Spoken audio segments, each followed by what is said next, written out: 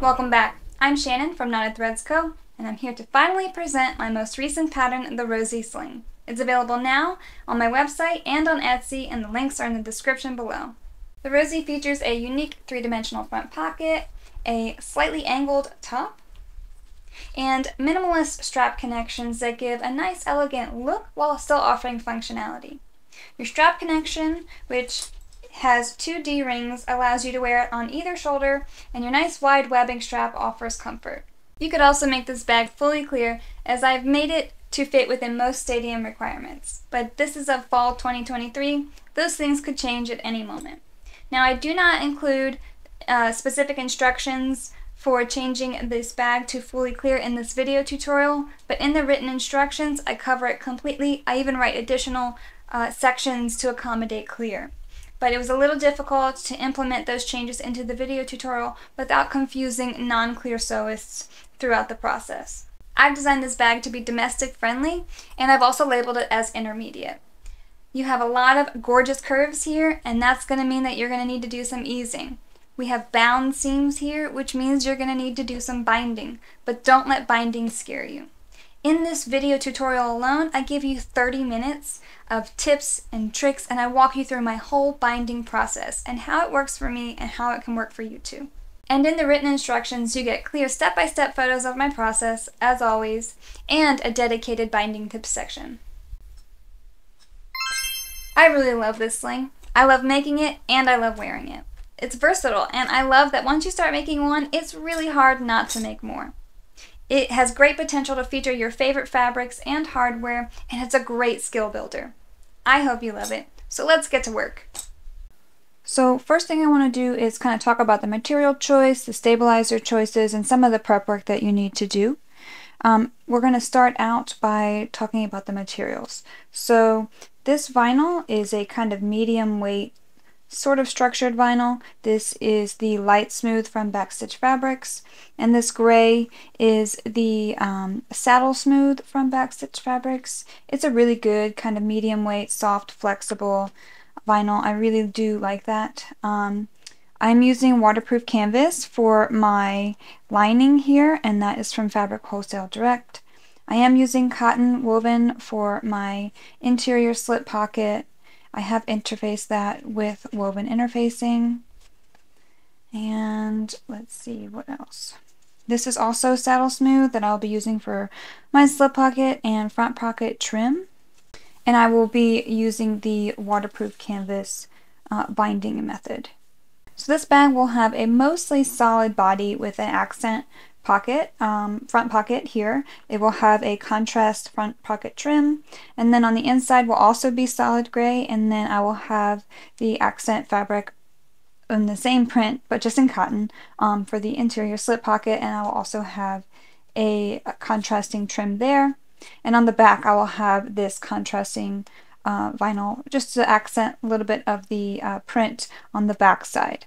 So I'm choosing the woven slip pocket this time, so I have interfaced it with woven interfacing as I instruct. For my rectangle ring connector, I have already drawn my lines and fused my Decovil light. Now I make note of this in the pattern um, and on the pattern pieces themselves. Um, it's very important that you make your center marking here on these two zipper panels. This will be your back zipper panel and this will be your front zipper panel. That you make these notches here or center markings on the zipper side of your zipper panels, right? So this will be the front, your zipper side, zipper side, and the back. This is what is going to create that top part of your gusset. And so if you're not really sure which is which, let's say you used a um, projector to cut out your pieces or you used um, your silhouette, if they nest nicely together like this, then they'll be fine. If they aren't nesting well, then you know that you are, that's the wrong side to be notching. You only want to notch these two here that are nesting, okay? And you want to make sure that you're doing that on your exterior pieces and on your lining pieces as well. You're gonna, they should only be marked on those zipper sides. And this is pretty much because when you're sewing that whole zipper kind of situation together, if you are marking both sides of these centers here, it's going to be hard to tell in that moment if you are putting this on, if you're installing the zipper backwards or not, pretty much. And you really want to make sure that you are installing it correctly because it will affect the way that the gusset lays. And if you do one correctly and then you do the lining incorrectly, you will see that that will also give you some puckering and buckling and stuff like that where you don't want it to happen. For my zipper panels, I am stabilizing those with uh, Thermolam, which I believe is Pellon 971F. Um, you could use fusible fleece here. Um, really, a Thermolam is just a slightly more structured version of fusible fleece, but really your main structure is going to come from just the way the bag is constructed. When you're sewing so many seams all together at once, um, that's just giving bulk and that bulk is going to help structure it and then you're going to further bind it which is also going to provide more stability.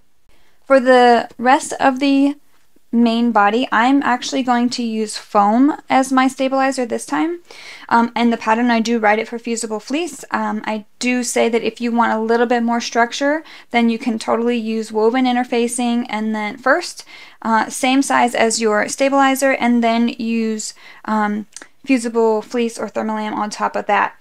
Um, my personal favorite is foam for this bag. I just like the way that foam slings feel. It's very lightweight. Um, and I don't have a problem fusing it. I did not write it into the pattern because a lot I got a lot of kickback actually on the uh, Mayfield for using foam. Um, but once you learn how to properly fuse foam, you're not going to have any issues. I will separate the foam from that fusible layer before I actually rip off um, any other part of this foam. So like I see I can I'm separating the foam from that fusible layer right there and what that means is that I have properly fused my foam it's not going to go anywhere not to mention um, once I do my basting here of this middle panel um, that foam isn't going to go anywhere. Um, so I don't really have anything to worry about when it comes to that. But I know a lot of people don't like foam, and that is okay. So that's why I did not write it for that. But I just wanted to show you um, the version that I like of the Rosie. And so that's what I'm using today. So this is my middle panel here, and you can see I have this extra bit of stabilizer right here that kind of seems a little weird. It's in the seams, we don't understand it, but I'll explain this to you. So where you have your front pocket on your bag, kind of, I don't know if you can see that shape of that stabilizer there, but this front pocket area right here, where you will be basting it on, is going to have a different amount of bulk than this area right here. And if you didn't have this extra stabilizer, what's going to happen is when your bag is all finished, this area here is going to want to sink in just a little bit more to match the bulk depth of this seam where the front pocket is. And it really gives a rather undesirable appearance. And so Adding this extra layer of Thermolam here gives it just enough bulk to help it match the rest of that um, area or the depth of that seam and that's just going to kind of give you a better appearance. It's not going to sink in as much if it does at all. Um, I've gotten really good results doing this and so I don't say, I don't recommend you to skip that at all. Definitely fuse the opening stabilizer onto your uh, middle panel, which is what I'm holding now. Um, you can do it really before or after. It doesn't really matter um, before or after your main stabilizer. I just say to do it after in the pattern because you have these lines that you're going to be referencing that I have you draw to fully um, align and, and, uh, place your stabilizer. So Really, can you can do it either way. I just did it first this time because I have such a bulky stabilizer. It's a little easier for me to fuse this just to my middle panel first and then fuse my foam on top of that. On your back panel, you cannot see more than likely, but there is a strip of Decovil light that is underneath this foam. And that is important because that's going to stabilize our uh, D-ring anchor. And so we want to make sure that that is fused between our vinyl and right in between the vinyl and the stabilizer. You want it in between those layers so that you're sure that you're stabilizing the vinyl um, with that Decovil light. Um, it just, it really is important to do that. And again, on my gusset, I will be using, my bottom gusset, I'll be using foam. Make sure that you are notching all four sides of your middle and back panel. Um, it is important here to do that now because we're going to be using these side centers as uh, our landmarks for lining up our gusset Um, and same with the tops and bottoms, honestly. So it's important to do that now. Don't skip on that. You can mark it if you want. I did put uh, center markings on these pattern pieces if you'd like to reference those, or you can always cut notches. I just instruct cutting notches uh, for this pattern because it's just a little bit easier. So I've done that on my exterior and I will also need to do that on my linings. One more thing to note, I know that if you have purchased this pattern, which thank you, and you are you have put cut all the pieces out and you're ready to move on, I just wanted to show you that these pieces are not the same sizes, and so if you are working with, with a middle and back panel that are the same sizes, then you have cut something wrong uh, at some point in the process. That's going to be the same for your stabilizers as well. Four different pieces here, and I know that seems like a lot, but with the way that the bag is designed, it's unfortunately the name of the game. For your front pocket, you have a lot of options for uh, material choices for your front pocket. So you can go clear, woven, uh, vinyl, and you can actually skip the front pocket altogether if you really wanted to. Um, the real confusing part about the front pocket is when you're cutting it out. Now on the pattern pieces, I have helped you kind of guide you in cutting it out properly so everything's oriented so you're not accidentally cutting this opposite of what you need it to be. It's mirrored. And that's just, that is what it is. But when you're cutting everything out, especially when you're adding interfacing, it gets a little bit more confusing. So I've shown you a little bit of the prep work that I call for for the front pocket. And that's going to be to draw your half inch lines here from these edges. And this one's just on my exterior. And I'm tracing my darts. You can see I had my pattern piece off slightly. And so you can see the difference that it makes in your dart here. So I just kind of colored in the actual um, notch that I need to be, that butts up against the side that I need to be following when I line them up. But it is important to draw these darts. Um, I know that I could have totally had you cut them and just use a seam allowance, but I think that this is a little bit more accurate. Um, even if you're off slightly, it's not going to make a huge difference. Um, but if you aren't sure where to start and stop a dart seam or anything like that, um, this kind of takes that guesswork out of it for you. And it also helps you align your interfacing here, your stabilizer, which I have you cut the darts out of. You see we didn't cut it out of our material, but we did cut it out of our stabilizer. And it helps you line it up. All of this uh, stabilizer will be out of that seam allowance throughout that whole process, except for right here when we do the slip pocket trim, but that's not getting sewn into the seam as you see it's left out there. So not a big deal. It also helps you recognize kind of your limitations of where you should be sewing your darts. And um, yeah, I, I really like how that turned out with the stabilizer and hopefully it helps you. Now even though I am using vinyl I still am going to stabilize it with the Thermolam. Um, I just prefer the feel of stabilized uh, vinyl like this. It's a little bit less kind of loose and uh, flimsy, and so I really like and prefer it stabilized, even if I'm using waterproof canvas as my lining. Also, I do tell you that it's important not to use Decovil Light for this front pocket, um, or really pretty much anywhere.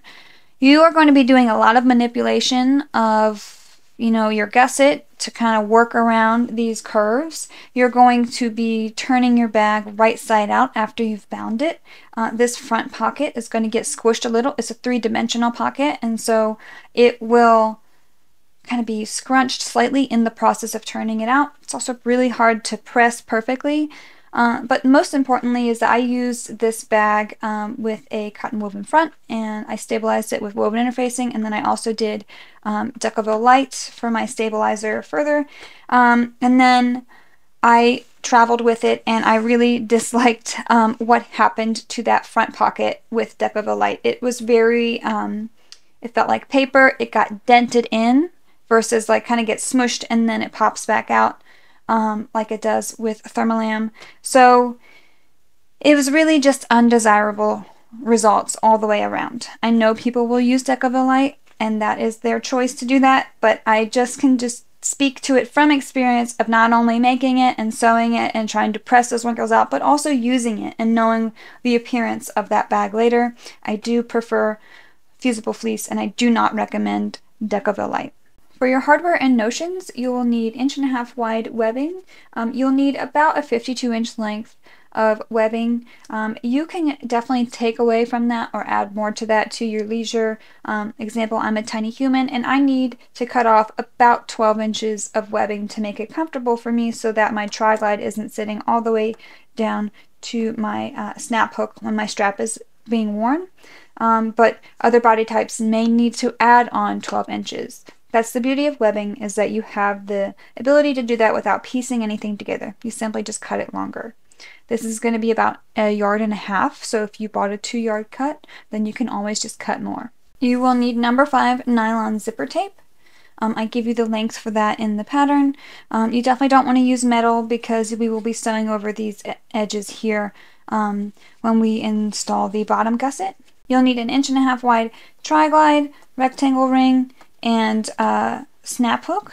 You can also use an inch wide uh, swivel snap hook. That's completely up to you. I give you options for both in the pattern, but for this tutorial I'm going to use inch and a half. You'll need two one inch D-rings um, if you're going to add any fun labels or logo labels or any other fun additions to your bag. Those are optional. It's just what I'm going to be adding. And two number five nylon zipper pulls. Alright, to get started with construction, the first section is the front pocket and middle panel. So you will need your uh, fully prepped uh, front pocket, exterior front pocket lining, uh, middle panel, exterior middle panel lining, your uh, front pocket trim, and any embellishments that you would like to add. Now everyone can laugh at me because when I went to fuse my uh, Thermolam, I used a new pen, and when I spritzed it and fused it. Um, I have a very nice, unique front pocket now. So there we are. We have that. Um, yes. So, but I've traced my darts and all that good stuff. So I'm good to go. Again, if you haven't done those center notches, please do those before we get started. And, and make sure that you're drawing that center line on the back or on the wrong side of your uh, front pocket trim.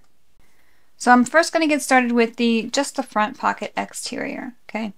So the first thing you're going to do with these darts is you're going to pinch them together, right sides together on those little sections there where the dart is, and there's no interfacing. And you're going to try and line up those two drawn lines there, and you want to clip it. So now we have this monkey piece here, and um, what we'll do is we'll take it to the machine and we will just stitch along that drawn line. Hopefully yours is a little cleaner and prettier than mine, but you'll stitch from edge to point here. There's no seam allowance or anything like that. You're just stitching directly on top of that line. Um, you do have some wiggle room here. It's not going to be a big difference if yours if one side is perfectly on the line and the other one is not, or if you catch a little bit of your interfacing in there when you fused it and maybe it shifted slightly there is some wiggle room here. It doesn't have to be absolutely perfect. Um, but if it is too far off of that line, either inside or outside of it, then what's going to happen is it's going to affect the way that this front pop, this front pocket opening here sits on your bag. It can maybe be too far out and then it is too flat against the bag, so it means it's going to be tight for your hand to fit in there, or it's going to gape open too much and it will never sit nicely close to the bag where we want it to. We want it to open up, just kind of have that happy middle ground of being just enough for your hand to slide in without gaping. Don't stress too much about being perfectly on the line, just try your best.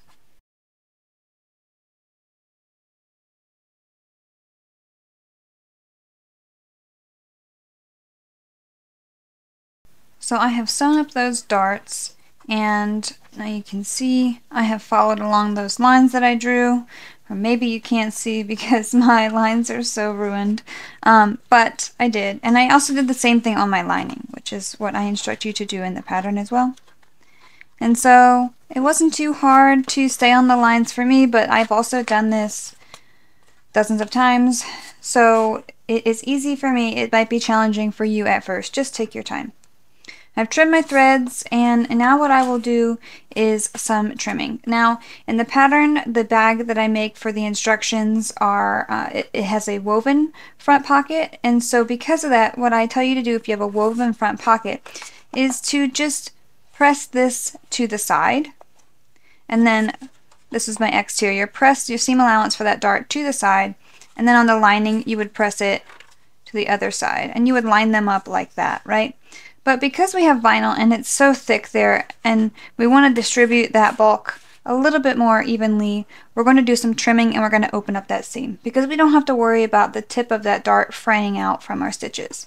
So we are going to trim until we hit about, we're going to snip, I should say, and open up that seam allowance there until we're about an eighth of an inch away from the tip of our stitching. I'm going to do that on these bottom two.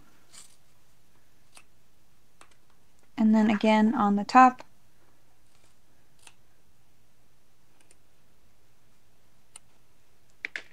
So I'm not going to do any further trimming on this top dart because it's just so small as it is. And as you see, once I open it up, because it's a rounded edge, it's not going to line up perfectly with the edge of the um, front pocket.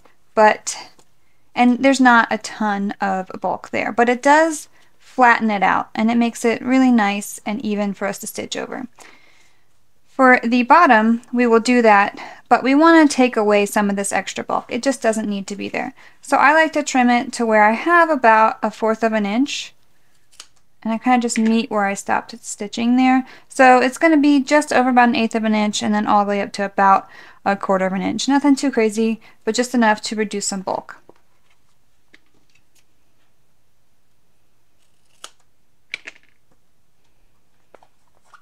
I'm going to do the same on my lining. So now that I have uh, trimmed my seam allowances, I can now open it up. Now if you had a material that was easily pressed open, you could do that now. Just take it to your iron and press this nice and flat as well as you can. Um, but I'm using vinyl and no matter what I do it's not really going to hold its press all that well without me risking melting the vinyl. It's not that big of a deal. So I just want to open it up when I put my lining wrong sides together with that. So I'll show you. So I'm going to open up both seam allowances like that and align that seam there.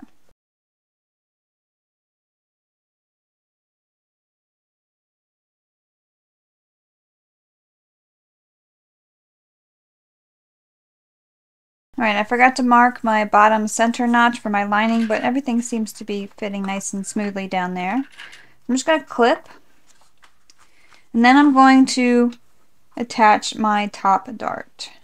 Alright, and so now I have aligned my top darts here. And when I lay it down, you'll see that this doesn't fit really nicely. And so that's just because you have something inside of something else. So we would normally want to take a larger seam allowance. But when it comes to seam allowances and stuff like that, I would have to make a whole new uh, pattern piece for you for lining and I didn't want to go through that uh, to confuse everyone. So the easiest way to make this work is to just kind of allow the pocket to the lining to fall outside of the pocket where it wants to.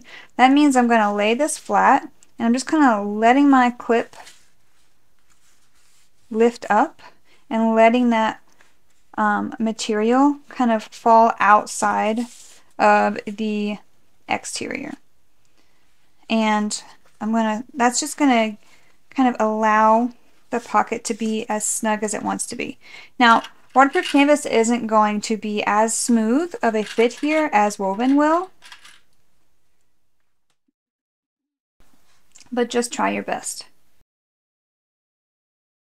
Alright, so now you can see we have a nicer fit than we would have if we would have just made everything match up. So as you can see, hopefully you can, my lining falls just slightly outside of pretty much all of the edges, and that's okay.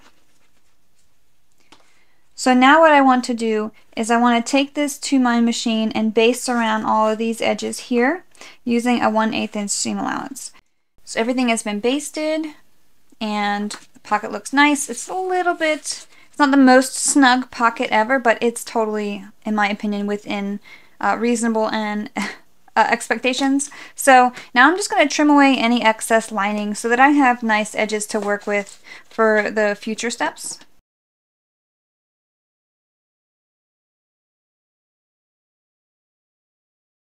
So now that we have trimmed away any of that excess lining, we need to apply some double-sided tape along this uh, front pocket opening edge here. Um, we want to apply it about an eighth of an inch down. So I just like to kind of use my uh, basting stitch as a guide and just follow right below those stitches.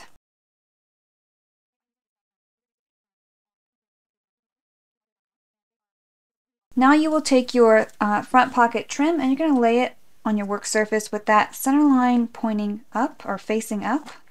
You're going to remove the um, double-sided tape backing from your lining side and you're going to just kind of eyeball that center area and just press down to adhere it right below that line. Just want to show you that's where that line is right there kind of just visible. I'm not passing it or anything like that.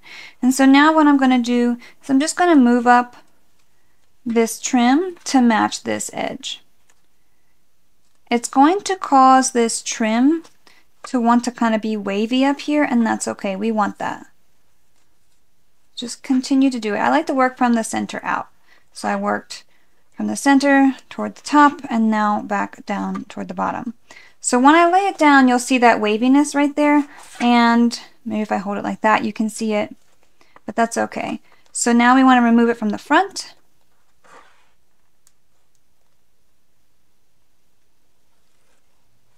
and starting from the center again, just pinch it down and fold it over.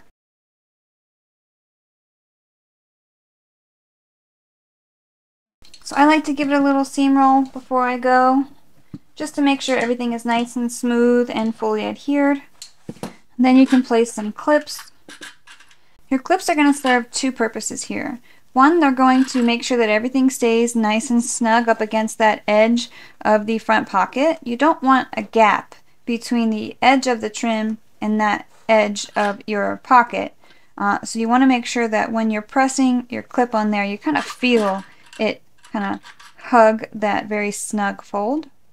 And you're also going to verify depth of your um, trim and the consistency of that. So it's just a good way to have easy visual reference. You can see on the back it's also consistent. So now what you'll do is you'll take this to your machine and starting on one of these edges, you're going to backstitch neatly and sew along this edge right here, not the folded edge, but this cut edge of your um, front pocket trim using a 1 8 inch seam allowance. Again, backstitch neatly, because if you backstitch too far and you didn't do a, it in a very neat way, then um, it will show in your finished bag. Okay, those are my very not so perfect stitching, but that's okay. We're going to trim this away. If you're afraid of cutting that front pocket, then just reach in to that trim and snip just one side at a time following the edge of your pocket and you don't have to worry about cutting your pocket then. So now that our front pocket is ready to be installed on our middle panel, we can go ahead and move on to that step. If you are going to be adding a uh, embellishment in that pocket opening area, I suggest that you just leave the lining out of these next few steps and then after you get this installed, um, then you would rebaste everything onto that lining piece. And that's just because it's really hard to get a perfect placement for uh, whatever it is that you're going to be putting there because so many things come in so many different shapes and sizes, installation, holes, prongs, everything. And you want to make sure that whatever you're doing is clearing your seam allowance enough to where it's not going to interfere with your presser foot and it's not going to sink too far inside of the pocket. And the best way to do that is to put the pocket on first and it's still completely manageable. For installing the front pocket, I just use clips for this. I don't typically need to use staples unless I'm sewing with clear. If I'm sewing with clear, clear is a little bit harder to work with. It doesn't really hold under clips. It, it's harder to stretch, all of those things. So you may find it easier to staple instead of clips. So we're going to match up these bottom center markings and that's a very important landmark for both pieces. So you may want to double check your center marks before you actually start this process.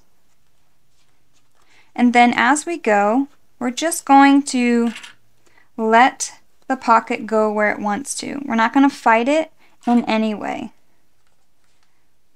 You see it's going to hug that curve nicely. And then we're just going to continue up the side.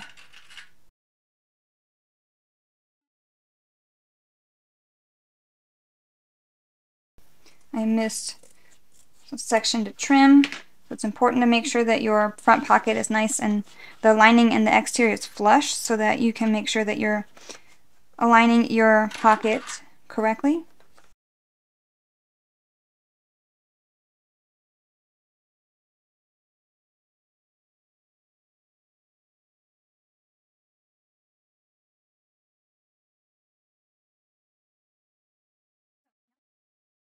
So everything is now clipped and you'll see that it kind of has a lot of extra space and it's kind of maybe sitting a little funky. If you have clear, it might be doing something like that, and that's okay because when we sew those seams, when we construct the bag, it's going to pull everything down. And that pulling of those seams is going to give us that nice smooth front pocket that we want. So now you can baste around this whole front pocket using a 1 8 inch seam allowance. You don't need to baste outside of this area. Um, and if you had, if you're not putting an embellishment here, again, your um, lining would already be installed on your back. You'd have already basted it as per the instructions in the pattern. So, uh, but I'm going to do it after this because I have a cute little soot sprite that I need to install.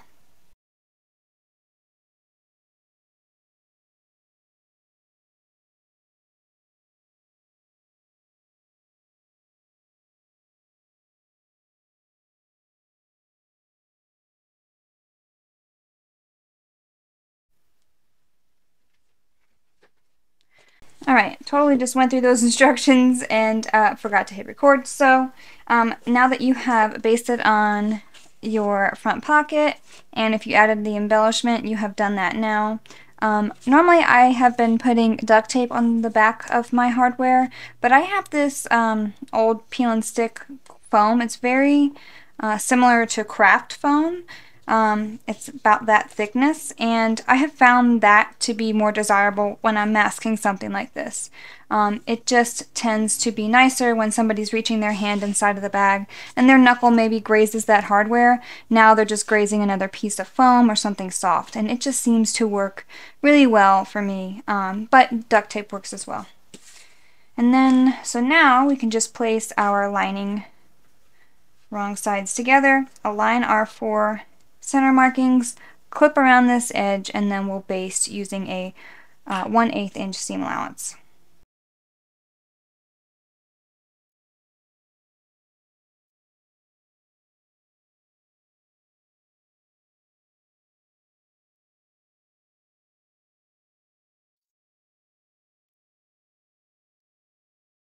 So now you have that uh, front slash middle panel all prepped and ready to go and you can set this aside. It's quite nice how quickly this comes together and you just get a nice little preview of what your bag will look like.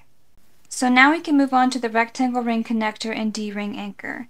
For this section you will need your rectangle ring connector, your D-ring anchor, your back panel exterior, one one and a half inch uh, rectangle ring, two one inch D-rings, and two rivets. We're going to start off with the rectangle ring connector, and the first step in that is to make some snips along these curved edges.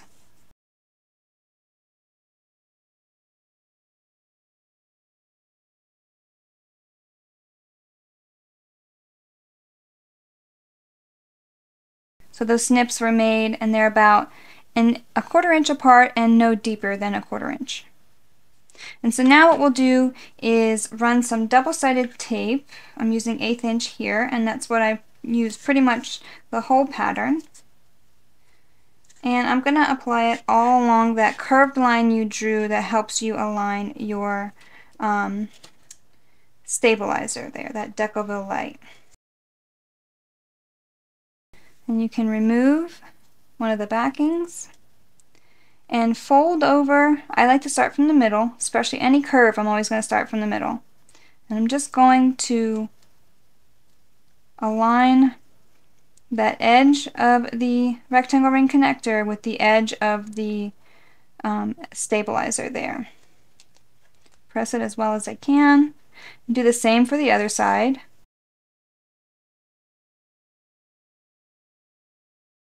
And then I like to seam roll this just to make it nice and smooth.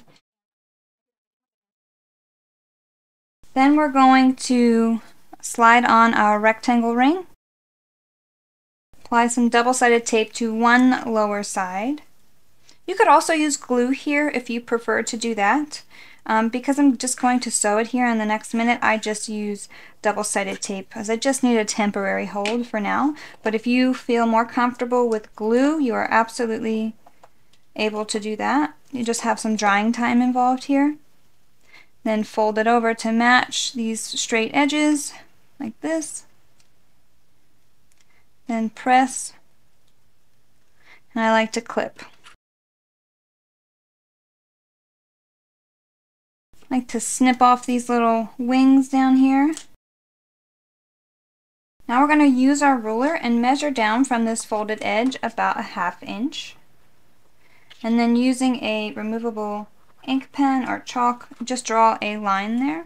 You can do more or less than this measurement if you are comfortable sewing closer to the hardware.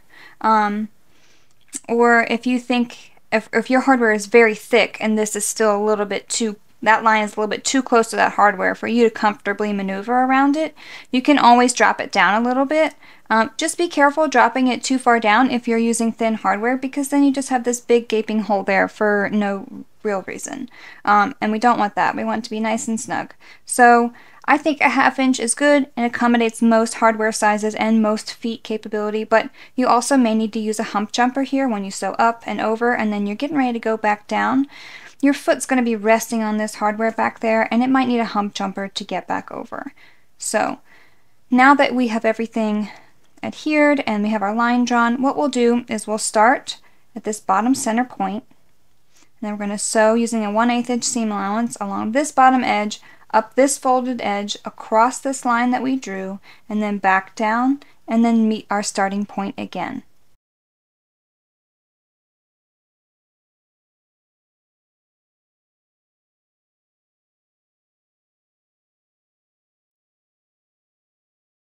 So now we want to remove this ink marking and we want to uh, find this bottom center. So now we're going to grab our back panel exterior. We're going to take our rectangle ring connector and we're going to align the center marking that we just made on the rectangle ring connector with the back panel top center marking and clip and then we're going to base this on using a 1 4th inch seam allowance. I like to use a 1 4th inch here because when I do my basting of my lining to my back panel piece later on, it just gives me an additional row of stitching that's in a different location further in. Now that's basted, we can work on our D-ring anchor. On the wrong side, you want to place um, double-sided tape right along either edge of that uh, center line that you drew in the prep work.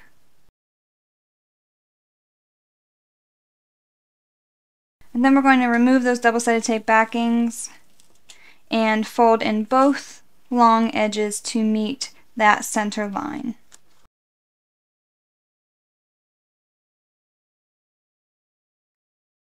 So now we have folded those edges back, we can now top stitch uh, away from each folded edge, this top and this bottom, using a 3 8 inch seam allowance. It's going to give us two kind of centered lines down the length.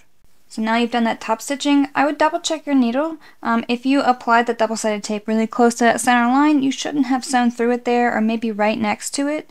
Um, but just in case, double check your needle. Use some um, alcohol wipes if you need to to remove any of your double-sided tape gunk from your needle.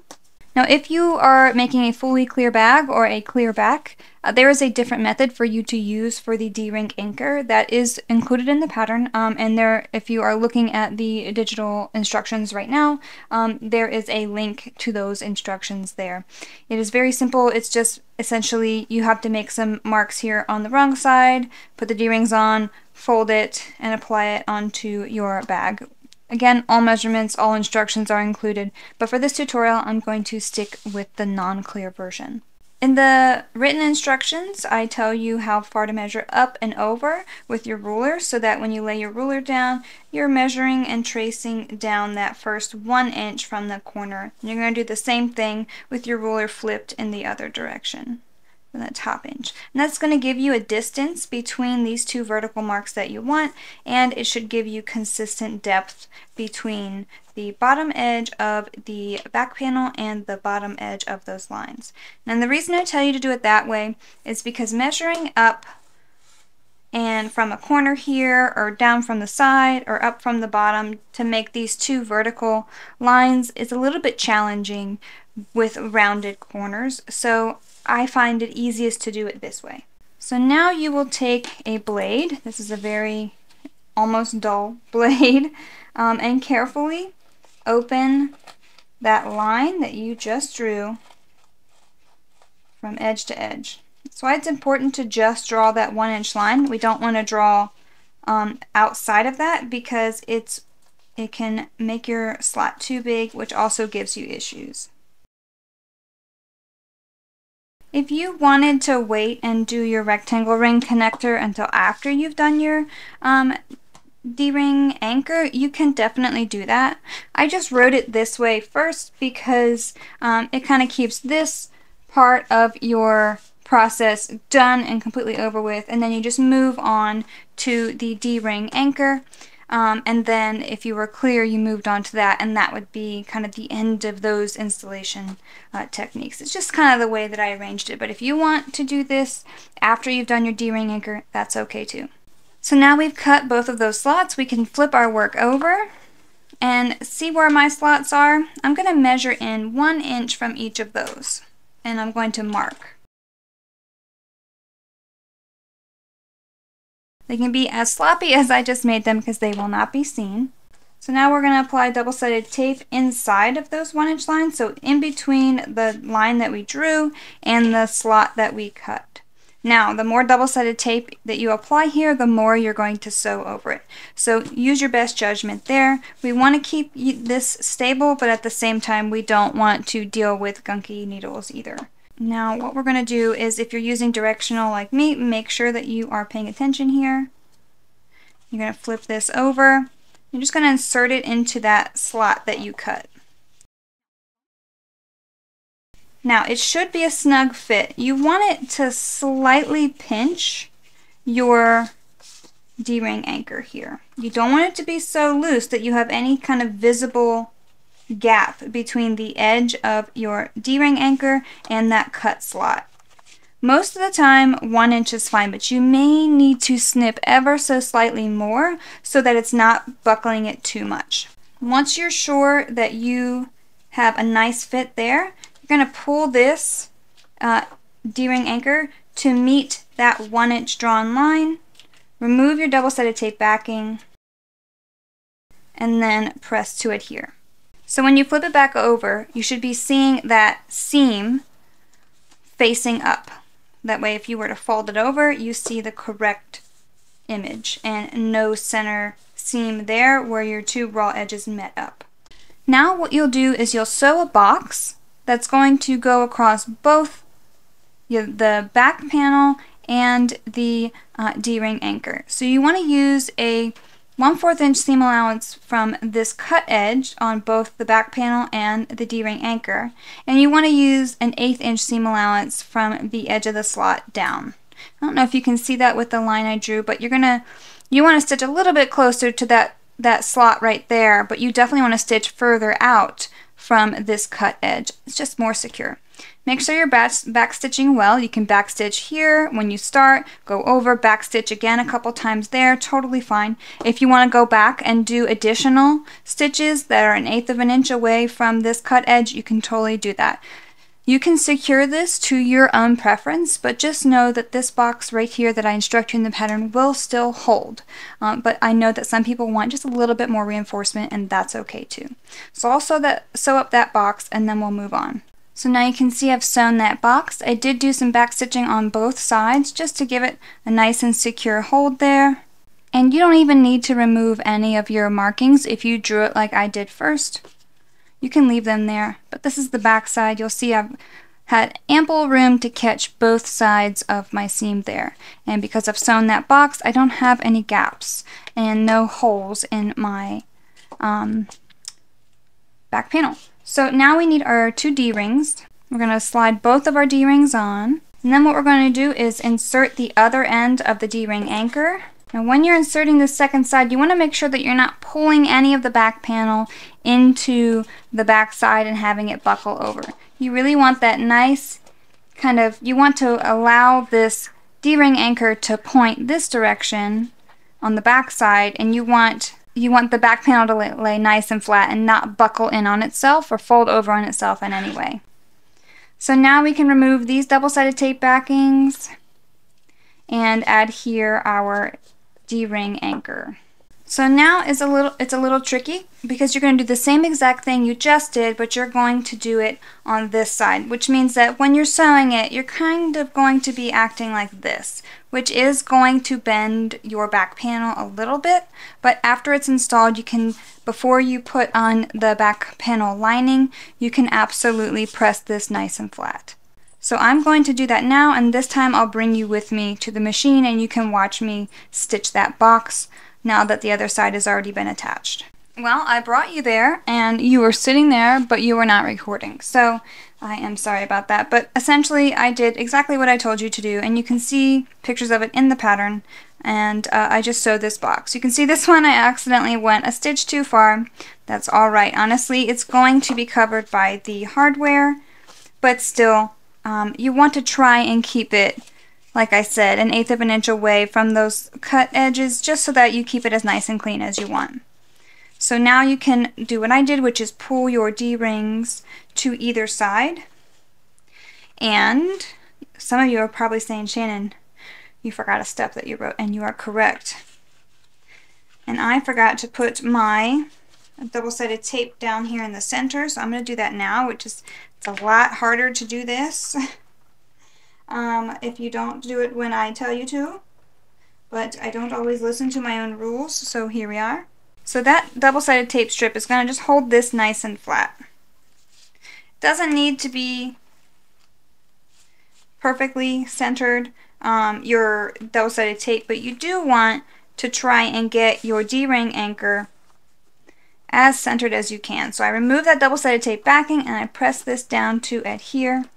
Just know that if you did it just when I did, you're more likely to put it in your stitch line at some point, but um, yeah, don't do as I say, not as I do. um, but now what you're going to do is just look at the bottom. Now that you have placed that down, just see if everything looks to be nice and even. Uh, make sure that your D-ring is hitting the same spot on either side. Make sure that that gap seems pretty even. Now I instruct you to measure in from this folded edge and draw a vertical line. So do that for each side. And that's going to be the reference points that we're going to use to start and stop stitching for our box that will then secure our D-ring anchor down. So go ahead and draw those lines and then what you'll do at the machine is you will start at one of these corners or bottom edge. It really doesn't matter where you start. I just I don't suggest starting in the middle of one of these short edges. That's where I say don't do it. But you can start off center, bottom center, right on the corner. That's fine. What you want to do is you want to stitch a box and you're going to use an eighth inch seam allowance from these bottom and top folded edges and you're just going to stitch right over this drawn line on each side. So I personally like to start here and then I sew down here using a 1 8 inch seam allowance up 1 8 inch seam allowance over, and then hit this, go down, meet my point, pull my threads to the back, and nut it all off. So now you can see I have finished with my stitches there. I have sewn from here, up, over, and back down. I used an eighth inch along these edges and I started and stopped in the same needle hole so now what I want to do is I want to um, just tie this off knot it and really secure those threads the best that I can. So now you have secured your threads. Um, you will mark your rivet placement. I give you measurements for that and the pattern. You can also uh, do a little closer to your hardware. It's really your preference. Don't go too far because I don't know if you noticed, but there's a nice gap right there between the box you sewed around that slot that you cut and the box that we just finished sewing. And so if you go too far one way or the other. You will puncture your stitches when you um, punch your hole, so don't do that. But you have a little bit of wiggle room within that area. So draw those marks, punch those holes, and then insert those rivets. So I've just inserted the back of those rivets and you'll see that they sit quite nicely in that gap. If yours ended up a little wonky down here like mine, that is okay. Sometimes it'd be like that, right? They can all be nice and pretty like that one. So now I'm going to set these rivets and then I'm going to give my bag a good press just to try and eliminate any of those wrinkles that happen when I had to fold it to install the other side of my D-ring anchor. So now everything's pressed and my connectors are done and I'm able to move on to the next section.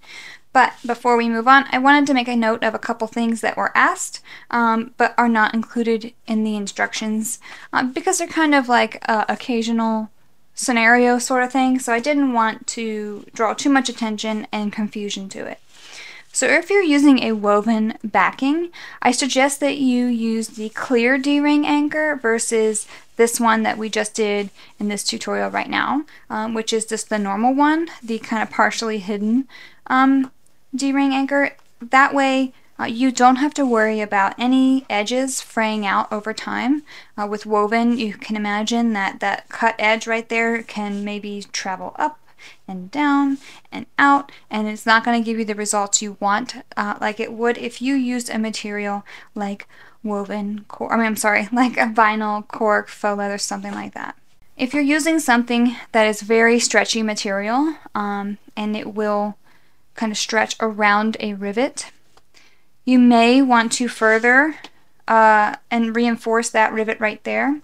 But in my experience so far, I haven't had any issues because if you think about it, you have four layers of vinyl just in the D-ring anchor itself, the layer of material that is on the back panel, a layer of Decovil light, and as well as um, whatever stabilizer you are using, Thermolam, additional woven interfacing, plus, or, um, I'm sorry, foam, like I'm using today. So I think that you have enough support there, not only that, but also the way that we have sewn it on.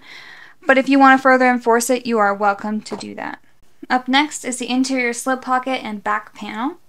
For that, you will need your exterior back panel, your back panel lining, your slip pocket, slip pocket trim, two double capped rivets, and then if you want to add any fun and inappropriate tags or your logo label to the inside, you can do that. I know a lot of people like to put theirs on the outside. Uh, I, it's just my preference to put them on the inside. So the first thing we're going to do is fold our pocket in half, wrong sides together like this, and then press. We want to press to give ourselves a nice crisp, crisp fold down there that we can reference. Once you've pressed it nice and crisp, we're going to open that up and we're going to use that crease that we just created as a reference line to trace in the center. Now the reason why I don't tell you to measure in from one end or another is because interfacing can shrink, woven fabric can shrink, you can cut slightly off and all that good stuff. So this is just since we're we want to work with two even halves halves um, we want to make sure that we are finding the center of the piece as it has been prepped. Okay.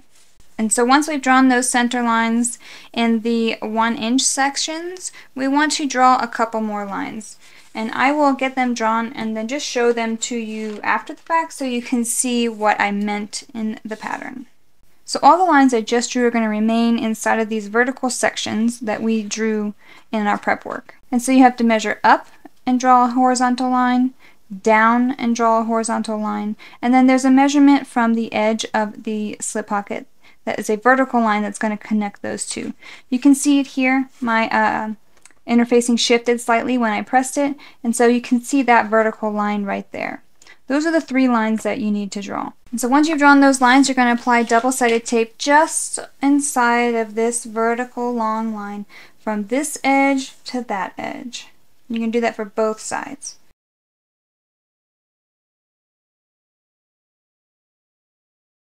So now we're going to take our scissors and we're going to cut from the edge of the fabric along that first center line that we drew on that crease until we hit this vertical line right there. We don't want to pass that vertical line at all. We're going to do that for both sides. And now that you have done that, essentially you want to remove these two individual blocks here from the slip pocket. You want to cut those two vertical line or those two horizontal lines till you hit this center vertical line. And that way you'll have this cut edge that's all the way to that line and you just remove those two boxes right there.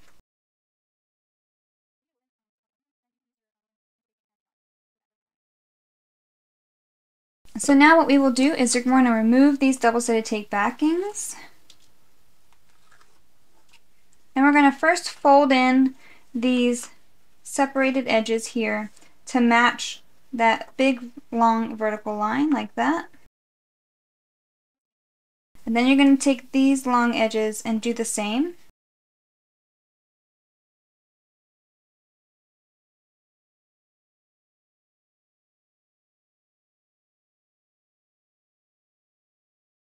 If you have any um, frays that are coming, like if you're like me and you use woven, sometimes your fabric's going to want to fray right there. And that's okay. I expect that since we're going to be cutting right close to the edge like that. You just want to trim away as much of those frays as you can. When you fold it together like this, you can always apply a little bit of fray check on those areas. But this is going to be sitting down at the bottom of your bag. And the reason for this kind of angled corner down here is just so that we can have something that is, we just keep this pocket as far away from our seam as we can so we can still navigate around it without it affecting our presser foot or anything like that. It's not going to affect what we can put into our pocket. It isn't going to take away from anything. It's only just going to make it a little bit easier. If you didn't want to do all this, you can totally make a regular slip pocket. Just know that point of this pocket where we have it placed on your um, back panel lining, it may interfere with your presser foot as you go by, depending on the bulk of your materials. So now I'm going to do the other side and I will then give it a good press to maintain all of those folds that I just made using the double-sided tape.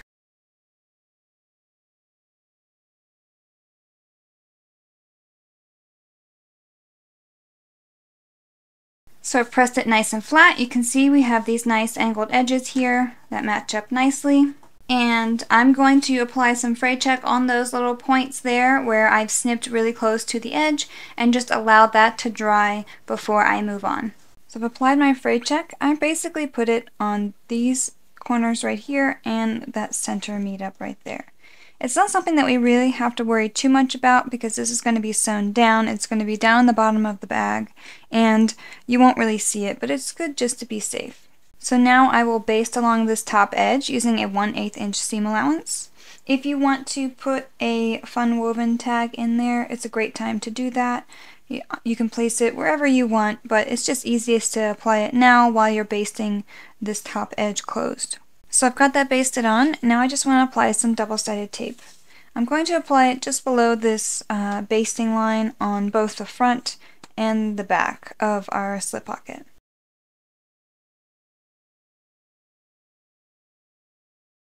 So now we've applied our double-sided tape, we want to grab our slip pocket trim and then we're going to remove the double-sided tape backing from the back of our slip pocket. And I'm just aligning this right below that uh, center line that we drew on the slip pocket trim. Press to adhere. Then I'm going to remove the double-sided tape backing from the front of the pocket. And fold over that trim.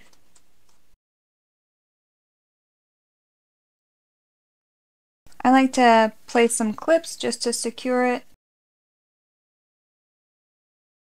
Now that you have secured your slip pocket trim, we want to top stitch away from this straight cut edge right here using a 1 8 inch seam allowance. Now I do make note of this in the pattern. Um, it's a good idea to use your clips to kind of quick quick reference the depth of your slip pocket trim just to make sure that everything is consistent. Um, that consistency is going to give you your best results and uh, it allows you to see if at any point it's dipping too short on the bottom or the front because if it is dipping too short on the bottom uh, then what's going to happen is that uh, you will potentially miss that in this next top stitch. So just make sure everything is as consistent as you can get it. So I've got my trim secured with my top stitching and now I want to flip this over and have wrong side up. And I want to take my double-sided tape here. I'm only using 1 8 inch. I don't recommend using anything more than that because if you do, what will happen is you will um, be sewing through it and it will be on the inside of your slip pocket for things to get stuck to uh, once it's in use. So what I'm doing is I'm applying this kind of just along this straight edge here.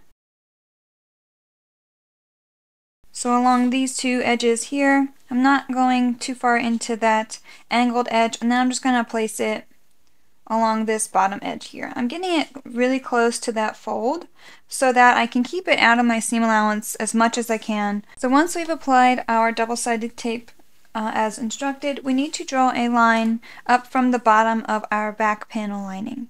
Once we've drawn that horizontal line, we will apply, we will remove this double-sided tape backing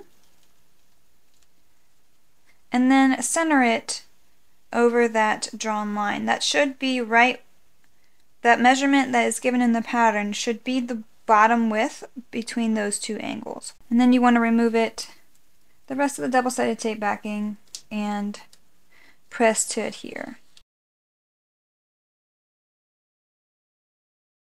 I like to give it a good seam roll just to make sure everything is adhered well.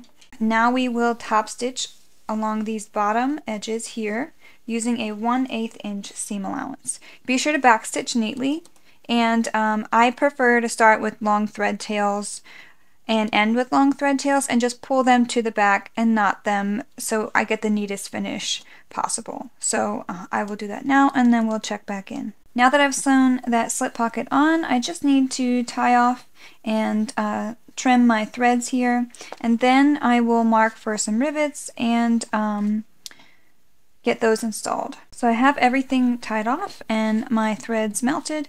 So now um, you will make these marks here on your uh, trim. I just like to eyeball this. I make sure that it's kind of equidistant from my top stitching, my vertical and my horizontal top stitching, and also centered on my slip pocket trim. And I do that for both sides. And now that I have those marks, I will use my uh, hole punch machine. I'll hole punch through both of those. And then I will insert my rivets. And in between the back side of my rivet, or I'm sorry, in between the back, the wrong side of my waterproof canvas and my rivet cap, I will be placing some Decovil Light scraps that I've punched holes in just for further support for that rivet. So I've got my rivets set. I made sure to put my Decovil Light there so I can further support that rivet. My um, material did shift on me slightly. Kind of turned in a little bit when I was doing my hole punch. So unfortunately it's a little off there, but that's okay. Nothing that I would consider a flaw. So now I'm going to get my logo on here real quick and then we will baste this back panel uh, lining to our back panel exterior. So I've got my logo on, and now what I will do is place these right or wrong sides together like this, align those center notches, and clip.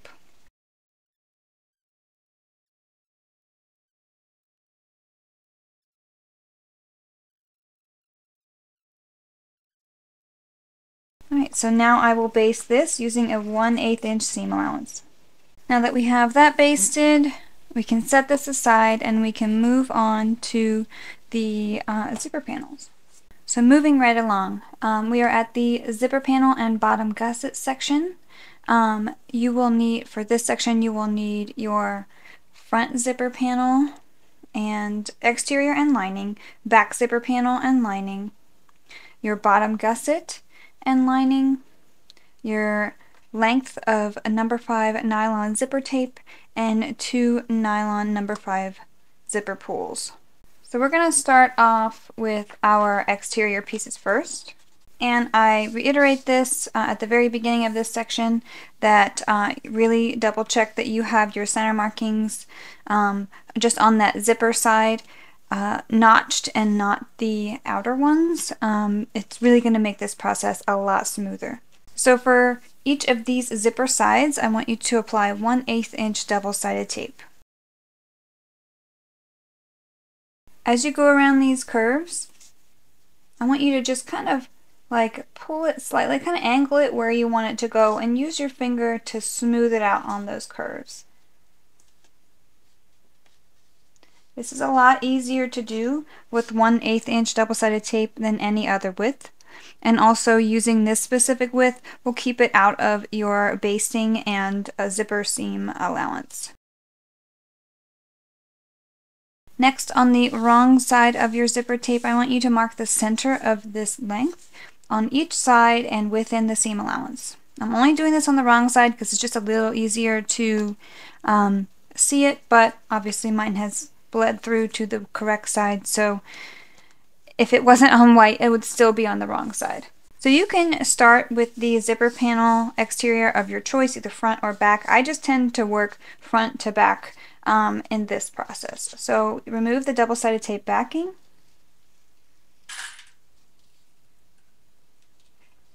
And then place your zipper tape right side down, right on that center notch. And just press there in the center area just to secure. Now I want you to continue to feed this zipper tape just like you did with the double-sided tape. As you go and you maneuver and manipulate the zipper tape, just press it slightly into the double-sided tape. Don't pull or stretch or do anything of that sort. Just kind of guide the zipper and allow the double-sided tape to manipulate it for you. And so now what you will do is you will baste this uh, zipper tape on using a 1 4th inch seam allowance. So I've got one side basted on. Again, I use that quarter inch seam allowance because it will serve a purpose later, but also I want to avoid that double-sided tape. And then I'm going to grab my other exterior, my back zipper panel, and I'm going to do the same thing I just did. I'm going to remove the double-sided tape backing. Now I'm going to align the center marking on my zipper tape with the center notch on my back zipper panel. And before I align the zipper tape along those curves and edges, what I want to do first is clip this to hold it. And then I'm going to take this and I'm going to align these edges here together and I'm going to just press my zipper tape in place. That way I know I'll have a nice straight edge there and I will ease the rest of the zipper tape into the side, into the, the rest of the lengths and curves of the back zipper panel.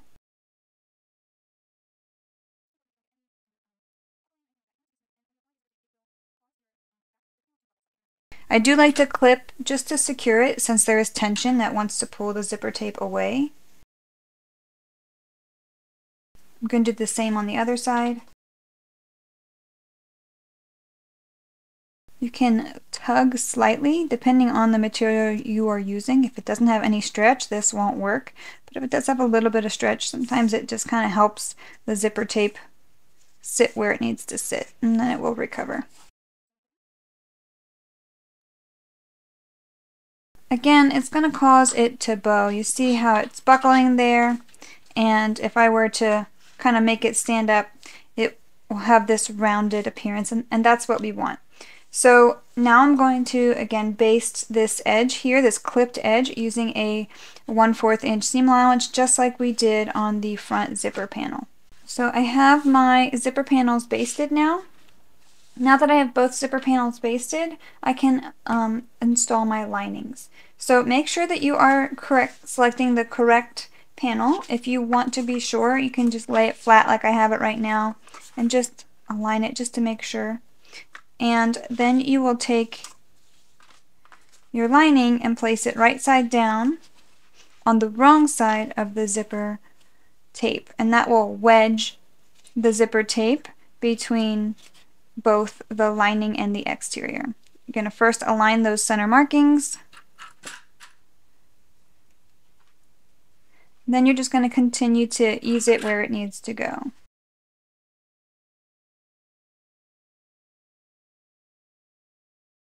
I know that it's a little bit more difficult to do both exteriors first and then do both linings, but I've found that you really get the most consistent results on these edges here if you do it that way first.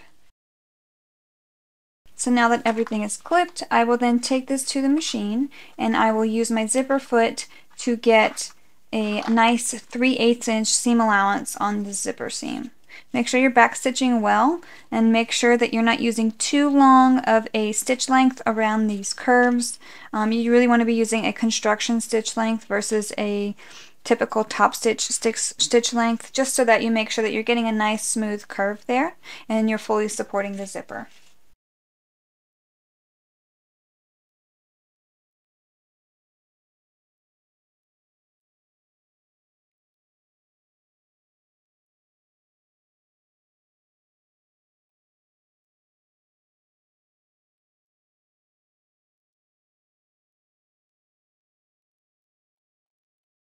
So I've got that lining sewn on and you see I went slow and steady and I don't have any wrinkles or buckles or any puckers or anything like that. I just went and followed my edge of my fabric and I got a great result.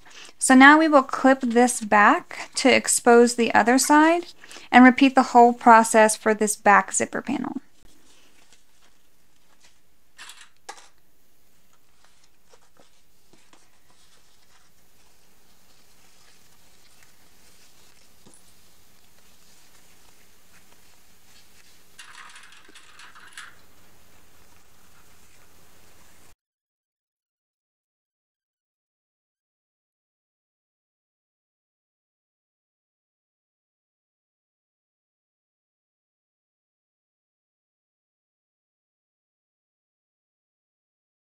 So now I will sew this up using that 3 8 inch seam allowance. Again, I'm going to go slow and steady and I'm just going to make sure that as I go, no puckers form or anything um, so I get the best finish. So now that I have sewn on that second seam, I like to clip everything to be uh, wrong sides together to just look and get a good idea of my how everything lined up, that everything is even. Um, I tug slightly just to see consistency throughout make sure that nothing was uh, taken too far or too little at any point. Okay, my edges are lining up nicely. Now, this next part um, I've coined as uh, Shannon's work, which just means that it is work that you're going to do that is going to be tedious. Um, you're gonna be like, why am I doing this? I don't understand. It's it's causing too much of a headache to me, and, and I get it. This part is kind of like the most annoying part of the whole bag.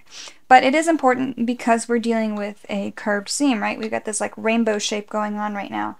And what that means is that we have to accommodate the seam allowance uh, material because that will, if we catch this I'm going to show you on the back panel. If we catch this back panel as it is right now into this seam allowance right here when we do our top stitching, this is being stretched. It has tension on it right now because it was the inside of the curve and now it's been sewn and flipped up and so now it's got that smaller kind of diameter that it's trying to accommodate because it's like well I you want me to go up here you want to catch me where I am wider but I really I can't fit that. So we need to accommodate these curves so that we get a good result. And it's the opposite for this one where now we have too much fabric right? So we reduced the space that it needs to fit into. And so we have buckling. And while you may think that it's hidden, that buckling will show in your seam allowance when you top stitch it because it's just too much excess. So we what we need to do is do some uh, snipping and some trimming of darts. So the first thing I like to do, I again I'm I always like to work front to back and so I'm going to remove the double-sided tape just kind of from this area here, a couple inches before, a couple inches after these curves, because that's where we're going to be reducing bulk. And so I know that this is a pain.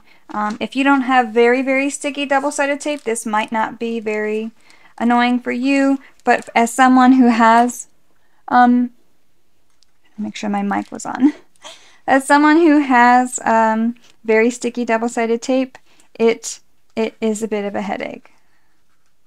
You know how many of these balls of double-sided tape has been stuck to the bottom of my socks in my sewing room. I find it easiest to pull it off of my material versus my zipper tape. So when I am separating it, I'm putting my nail on my zipper tape and pulling away. I'm sorry, I'm putting my nail on my um, zipper panel and pulling it away from my zipper tape. This is also why I don't have you apply double-sided tape on your lining side for your zipper panels, just so that's one less step we have to do.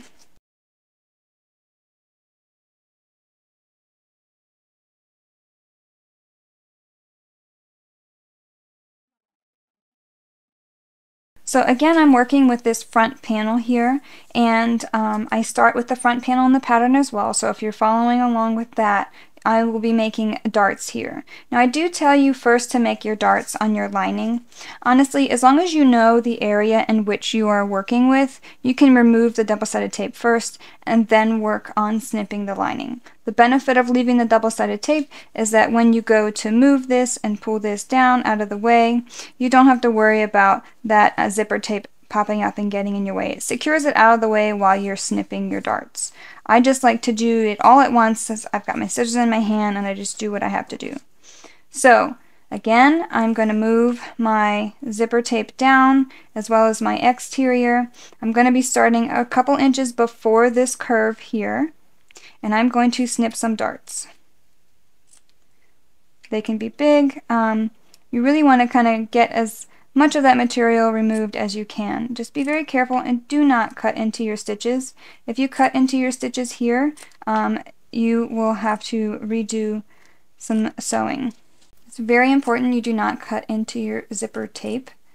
Um, I know that some people do it and they have no problem with it, but for me, um, if I'm using this bag and I'm loving it and a year rolls by and all of a sudden my zipper tape starts to fray out of my seam, then um, there's no saving that bag unless I'm going to redo a whole bunch of work.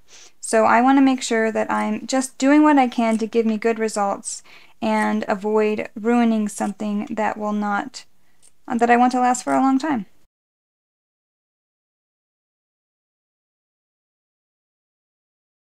If you want a faster version of this, you can always snip like this. I find it less consistent, and so I don't tend to do it often.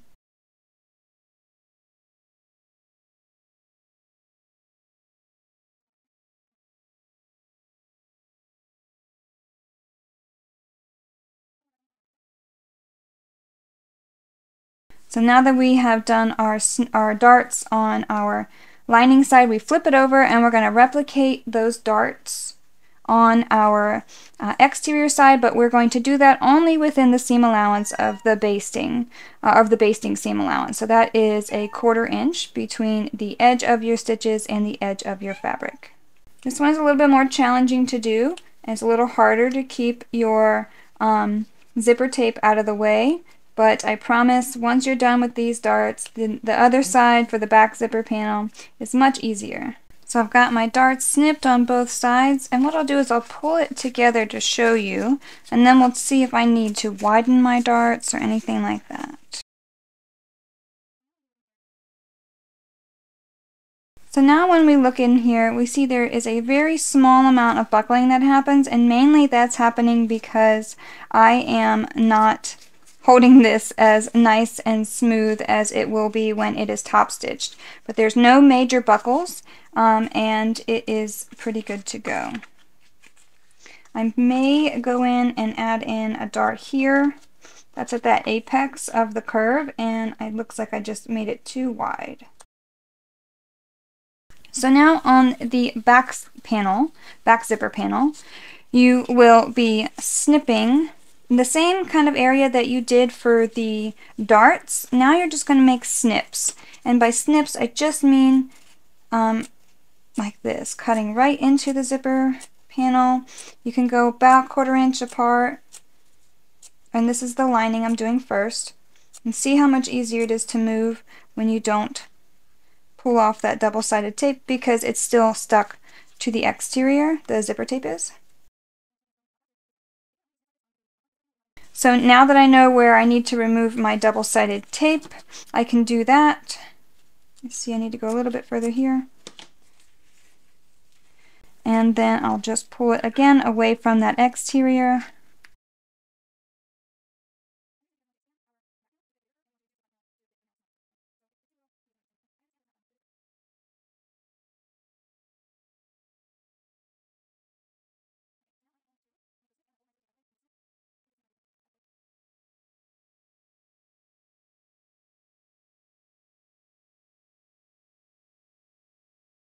So now I want you to take this to your iron and give everything a good press. As you are laying it onto your ironing mat or board or whatever it is that you're using, I want you to hold down one side to the best of your ability and I want you to press this lining away from your zipper tape.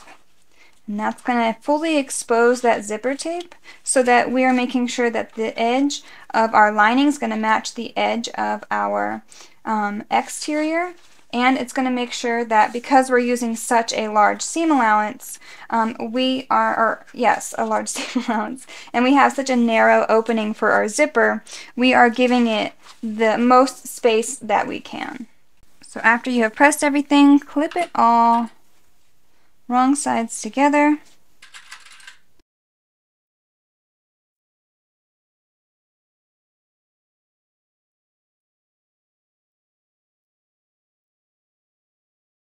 Now that I have it all clipped, when I sew this at my machine, as I go, I'm just going to make sure that I'm not pulling it forward or backwards, but I'm just going to make sure that I'm kind of making sure that everything is kind of pulled and exposed here.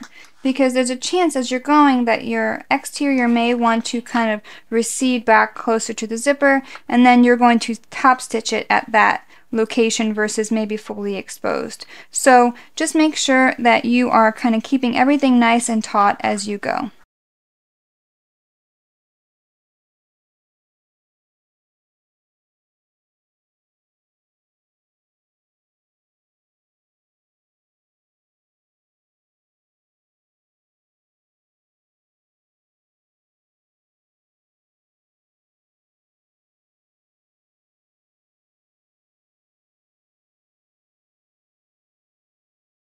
So we've got our nice top stitching going, or at least somewhat nice. Mine's a little wonky, nothing like sewing on camera to mess with your concentration. Um, so everything is nice and even. I've got my lining fully exposed. We're good to go. Now we can put on our zipper pulls. So I'm starting out with a nice straight edge here. And when I put my zipper pull on, I want to make sure that it after I put it on that the, my straight edge will be maintained. And so if you can see here, I'm one tooth down and now my zipper pull is slightly crooked. So I want to take that off and redo it. So now I have a nice even edge there. My zipper pull is even. I'm going to do the same on the other side. When it comes to gussets like these on any bag, if I'm sewing the gusset like I am, or the zipper gusset like I am right now, where I have two equal panels on either side, and um, I'm just sewing zipper tape onto uh, zipper panels, I do not put on my zipper pulls until after I've done this. Uh, after I've sewn them up because you just don't really need to and it just helps keep them out of the way. I like to zip them to the middle and there we have it. Now we can trim our zipper tape from each edge and then re-singe that tape so that you don't have to worry about it fraying out. So these zipper pulls are really neat and you can remove this charm by pushing this forward. So I'm going to do that now so I don't have to worry about them dangling uh, for the mic or while I'm working. So the next bit of work is going to be some more Shannon work. Um, it's going to involve some folding, some snipping, some marking, all of these things um, just to kind of help reduce the bulk uh, and give us a nice smooth clean edge in which to bind. I'm going to place this right sides together and I like to first clip on my zipper tape then I just fold these in So now when I take this to the machine, I'm going to stitch from this edge using a 3 8 inch seam allowance to right before that uh, um, seam allowance right there. Again, I'm going to start or stop depending on which way you'd like to do it, but I'm going to start or stop right before that zipper seam allowance and I'm to go all the way down to this edge, okay? So both of these using a 3 8 inch seam allowance, make sure that you're back stitching uh, on each end when you start and finish. So I've sewn along that edge using a 3 8 inch seam allowance. So now it's going to be time to do some marking. So what I will do here is I will pull my zipper lining back, my zipper panel lining back. And I'll get this corner here. I'm going to use a 3 4 inch marking on the edge of my ruler to create a box. And I'm going to trace that box onto the wrong side of my zipper panel lining. You do this for both sides, just like that. So we've got both of them marked. Again, that was measuring in with my ruler, 3 4 7 inch, and just tracing the corner of my ruler. Then on my zipper panel exterior side, I'm going to use my uh, interfacing here, my, or I'm sorry, my uh, stabilizer here as a reference to just snip vertically into my seam allowance. Now I'm only snipping my zipper panel here. I'm not snipping my bottom gusset. And I'm just eyeballing this, but I'm making sure that I am not snipping into my stitches there. I don't want to snip into them at all. So as you can see, I'm only snipping like that. Do the same on the other side. So now we're going to apply some double-sided tape. You're going to apply it right here on the edge of that seam allowance that we snipped on both sides. And then we're going to apply it, really doesn't matter where you put it. You can apply it on the inner part of this um, corner that you drew, this box. Or you can put it on the edge of your fabric that corner right there. Both going to have the same effect and serve the same purpose. Remove those double-sided tape backings and fold this point down to match. Same over here. Then you're going to fold down this seam allowance like that. Do the same on the other side. And so this is what you will have now. You'll have two folded sections that you can see there like that. And then you'll have your lining folded back on itself. And so then what we'll do is we'll place our lining piece back down, right side down, and we'll clip. And so then I'm going to make sure that I'm sewing with my exterior um, wrong side up like this so I can see these stitches that I made before. And what I'm going to do is I'm going to sew from edge to edge using a 3 8 inch seam allowance. Now the important part to note here is at no point do you want to sew short of the your previous stitch line because what will happen is this starting and stopping point is going to show in your um, finished bag in that gusset. You'll kind of see the stitches show through. So just make sure that if you need to sew just a scant more than 3 eighths inch. That's totally fine. It's not going to make a difference in your bag, but you want to make sure that you are sewing just past those previous rows of stitching that you did. Make sure you backstitch well, and if you want to, you can also backstitch over this zipper just for a even more secure gusset right there. So as you can see, I've sewn across that top edge using a 3 8 inch seam allowance.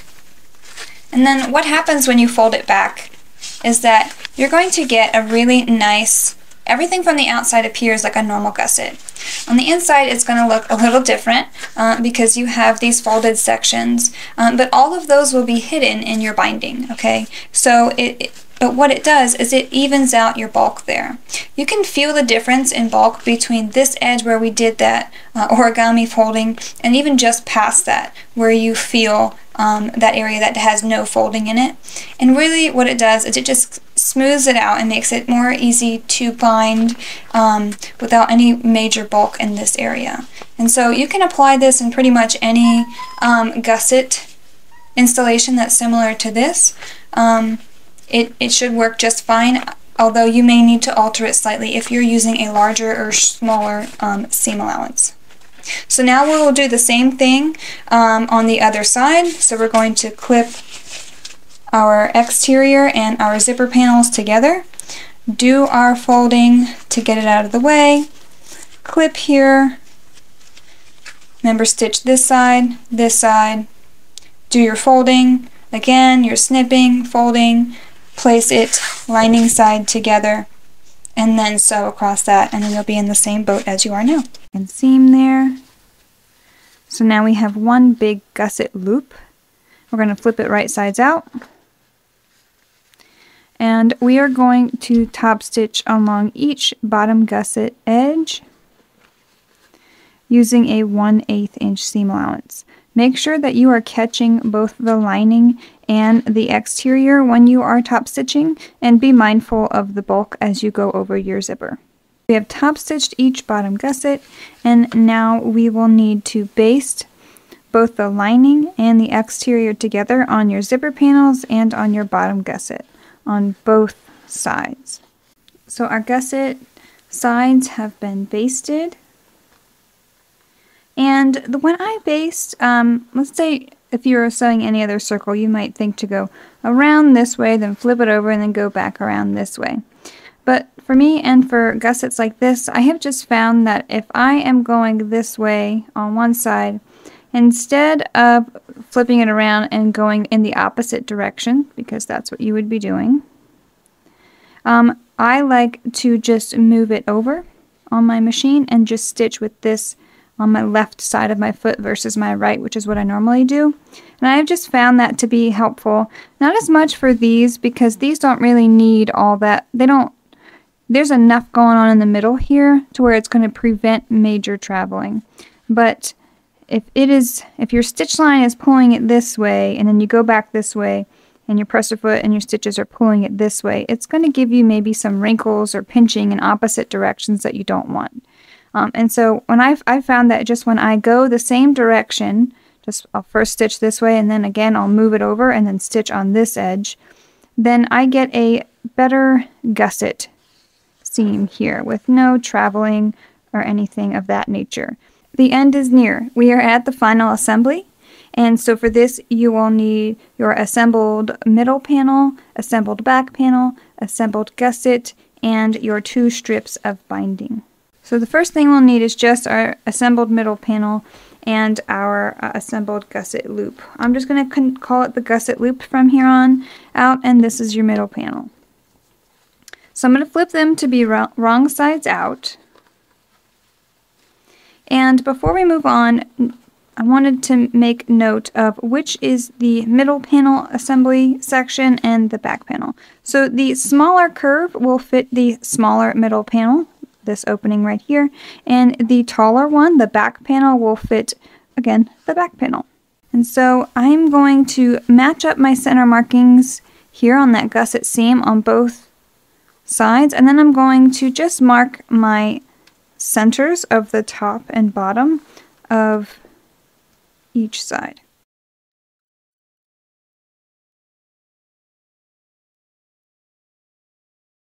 So now I will break out my handy dandy stapler and we will start by aligning both the top and bottom centers. Again, we're going to choose the side with the, the smaller curve. That would be this one, the inner. We're going to start at the bottom. We're going to line up the center marking on this uh, middle panel with the one on the gusset and staple to secure. I like to use my basting stitch line as my guide of where to staple. Then I'll do the top. It's going to feel really tight at first, and that's okay. It, need, it hasn't been eased yet, and that will happen momentarily.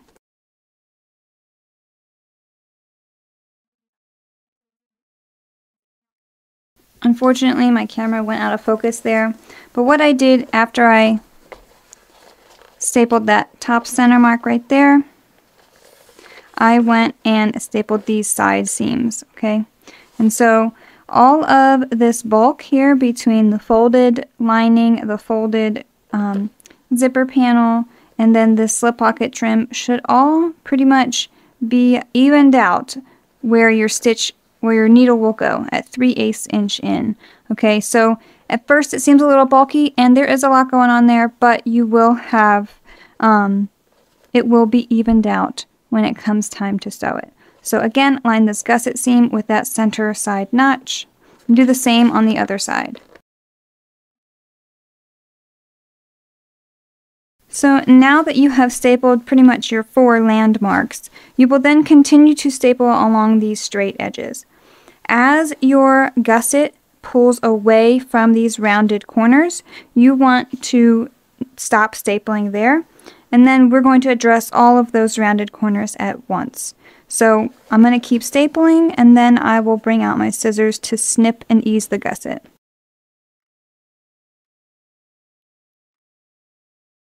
So that's about as far as I can staple. And what I want to do now is take my scissors and I want to snip into my gusset, not my middle, not my middle panel, but my gusset. And I'm going to snip just enough to snip through my basting stitches and um, release that pressure and expand that gusset. It's especially important to um, snip through your stitches if you're using bonded thread and you base it on your industrial. There wasn't a lot of layers there, so it probably cinched it slightly, and it will cause it to kind of be an even tighter gusset than it needed to be. So once you've done that, then you're going to pull this down, and we're going to expand it to fit that middle panel.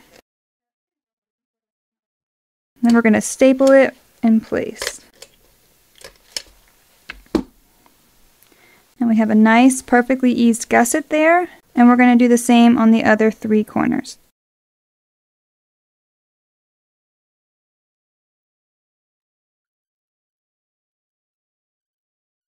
So the less stretch that your material has, that took me like five times to say. um, the harder it's going to be to ease, but it shouldn't be impossible. You should have enough room here to make it work.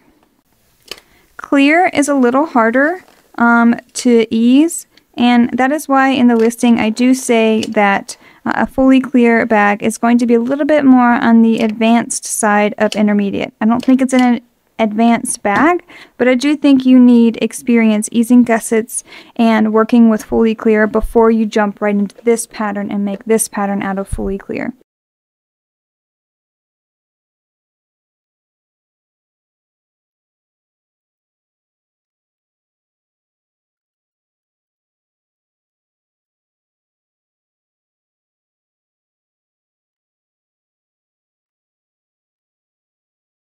So now we are going to baste around this middle panel using a 1 4 inch seam allowance. Now that is different than other basting seam allowances where I tell you to baste at an eighth of an inch and that is just because, that's for a couple reasons actually. One is we want to uh, make sure we're catching all of our layers and two, we want to avoid our um, staples as we sew. If we were using our basting stitch as a guide, then that would have put us for the basting stitch on the gusset as a guide or on the middle panel, that would have put our staples at an eighth of an inch. So sewing at a fourth of an inch is going to help us completely avoid them. But lastly, because we are going to be doing binding after we do basting, if you are sewing close to but not directly on your future stitch line, you're going to be maintaining everything at a really, really nice, precise placement that is close to what it will need to be when you sew your full seam allowance.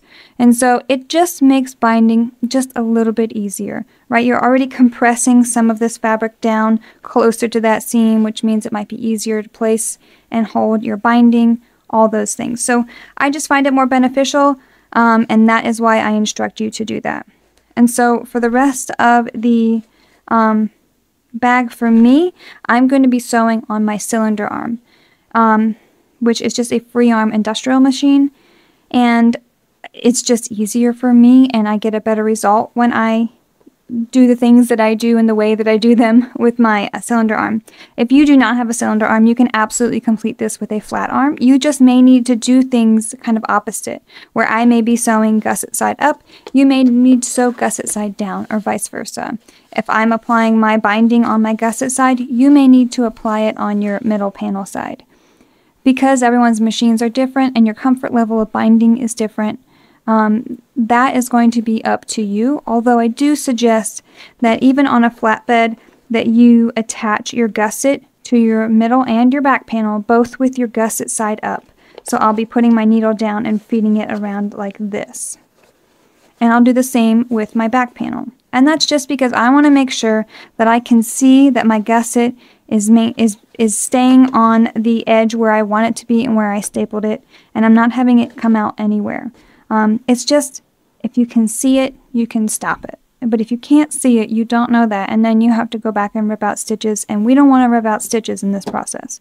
So, that's enough rambling, let's go baste.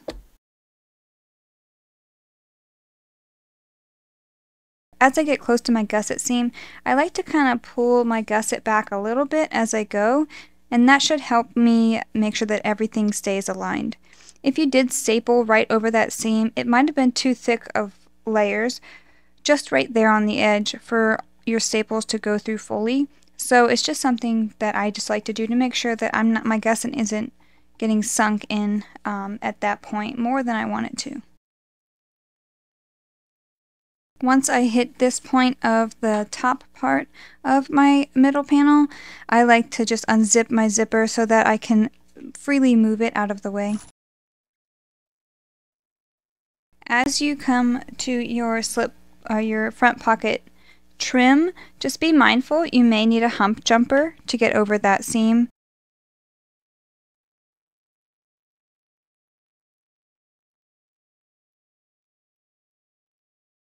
So we've done that quarter inch seam allowance all the way around. I'm going to go remove my staples and then we'll move on to binding.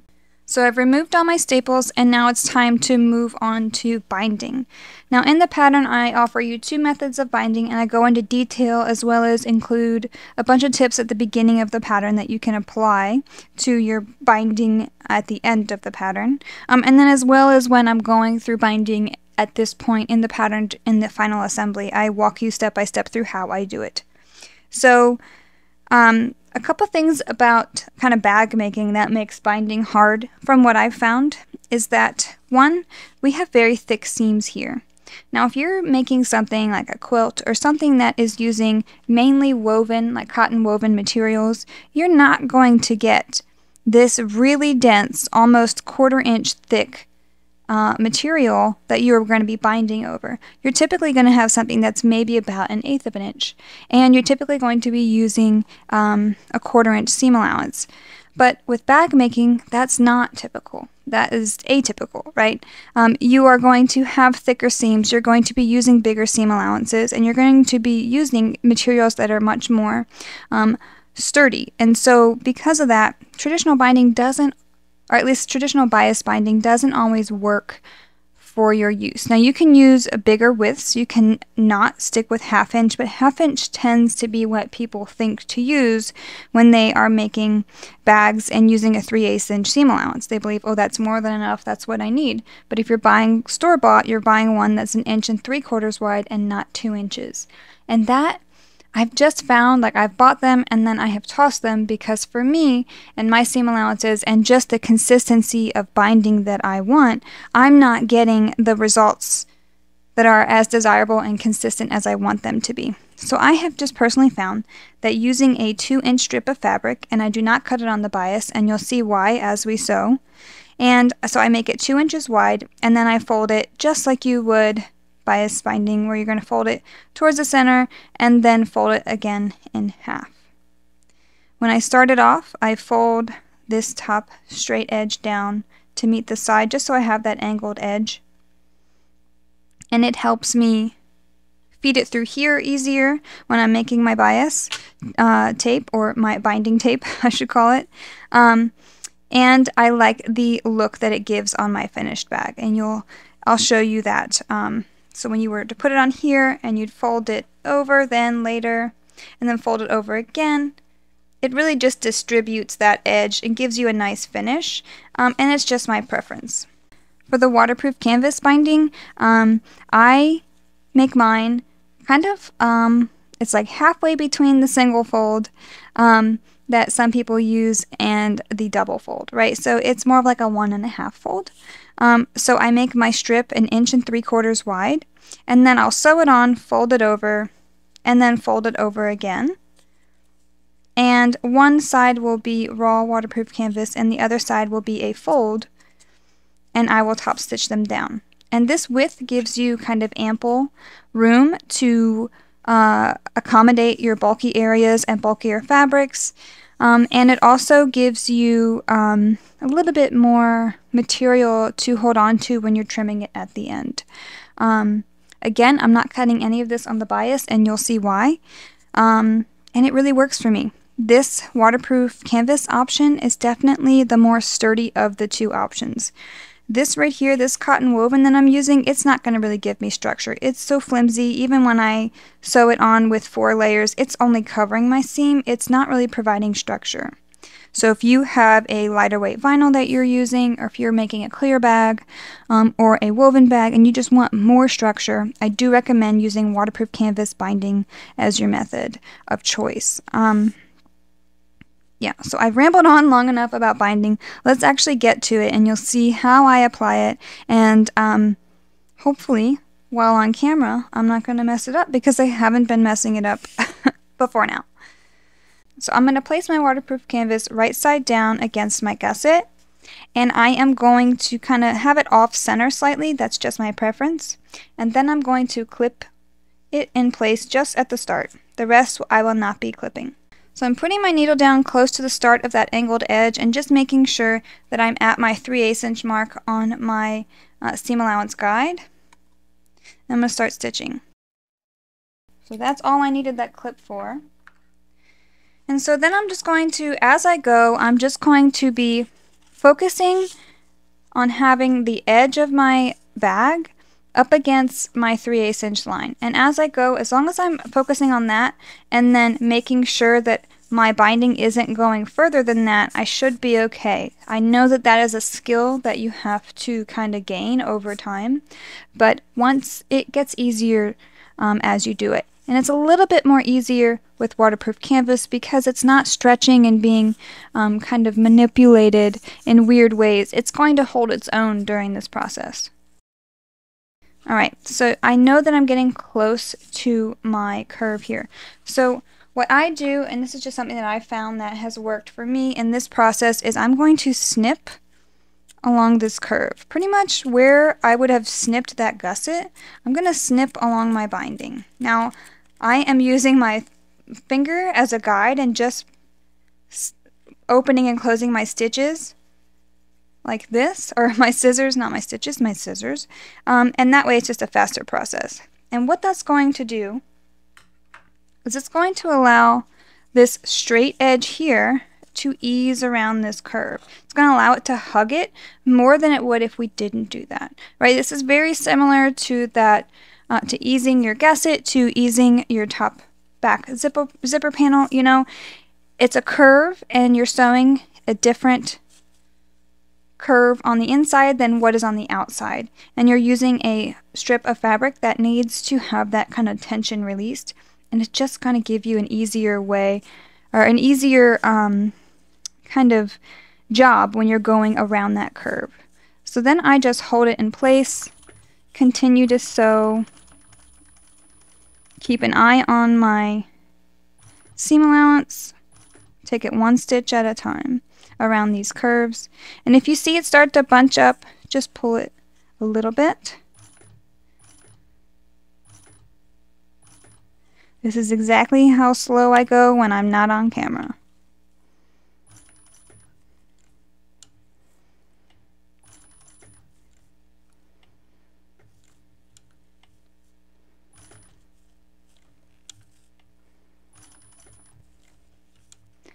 So what I'm doing is kind of, I'm just making sure that I'm manipulating everything to be nice and flat for that next stitch. And I'm continuously doing that every stitch that I need to. You're dealing with a lot of layers here, but they aren't impossible layers. So now we've gotten around that curve. We have a nice straight edge we can continue down. If your binding is going outside of the edge of your bag, you're not going to be able to see if you're following your correct seam allowance. So make sure that you aren't having that happen as you go. So I just took it carefully over that um, gusset seam right there, but because we have done that bulk reduction, it wasn't a big hump for us to go over, although you may want to use a hump jumper if that makes you feel more comfortable. So now I'm hitting that area where, again, I'm going to have a curve. So as I'm just going to show you, if I were to try and ease this waterproof canvas around this curve here, it's not going to comfortably do it. It's going to want to pucker and all those things. So again, I'm going to snip around this curve.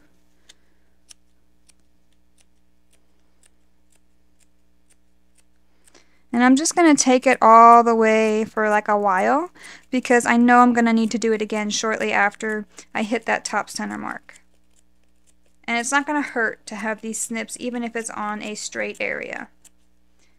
Okay, that should be enough. I'm hoping I have enough because I accidentally cut this slightly too short. We're going to see. You're on this journey with me. Okay.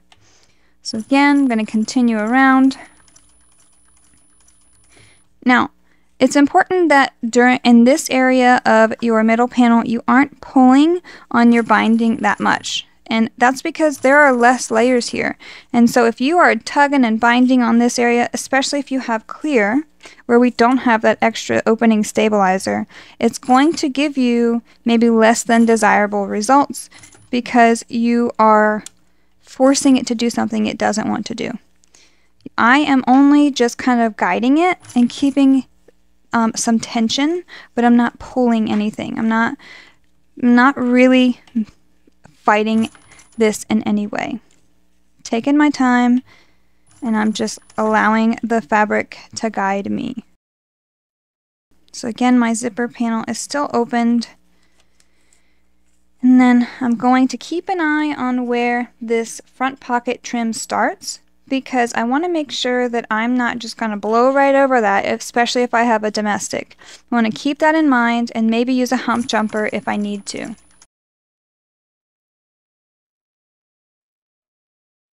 So right now I'm getting ready to sew over where that dart is on the top of the middle panel. And so there is extra bulk there, so I need to be aware of that. Just make sure that I'm going slow and steady and maintaining my seam allowance and my binding as I go.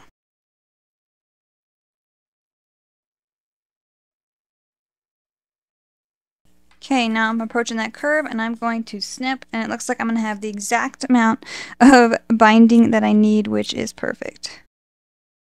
It's important that your snips are not um, any deeper than about a quarter inch so that you don't snip into the seam allowance and have that snip show through that 3 eighths inch uh, stitch line.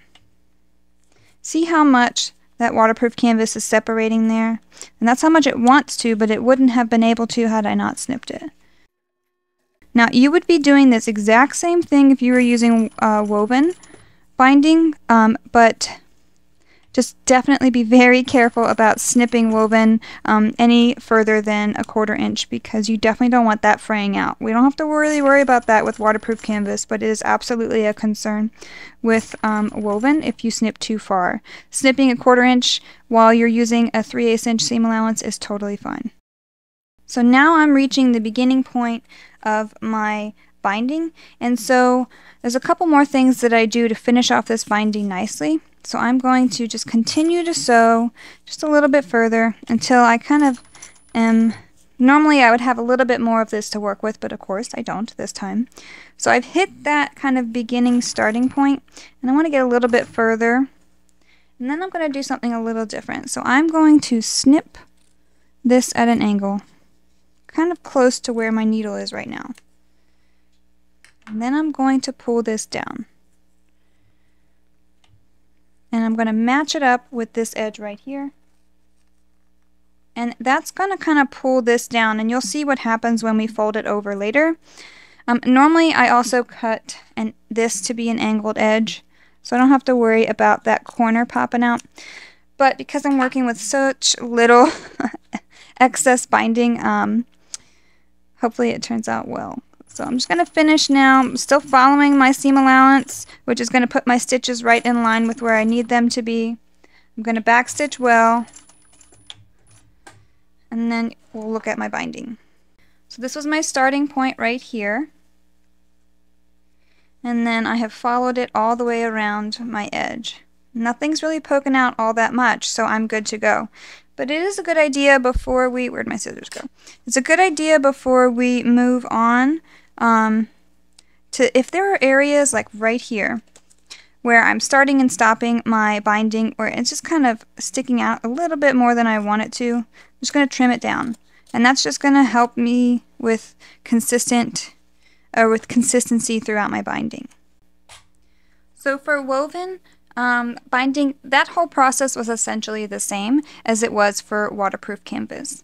Um, and the next part would be is where things kind of differ a little bit between the two. So now I'm going to fold this back over on itself and I'm going to kind of tug as I go. Because we have such a nice tight snug binding, we should be able to see already the kind of nice structure that gives us. So now I went through and I pulled this binding back on itself like this.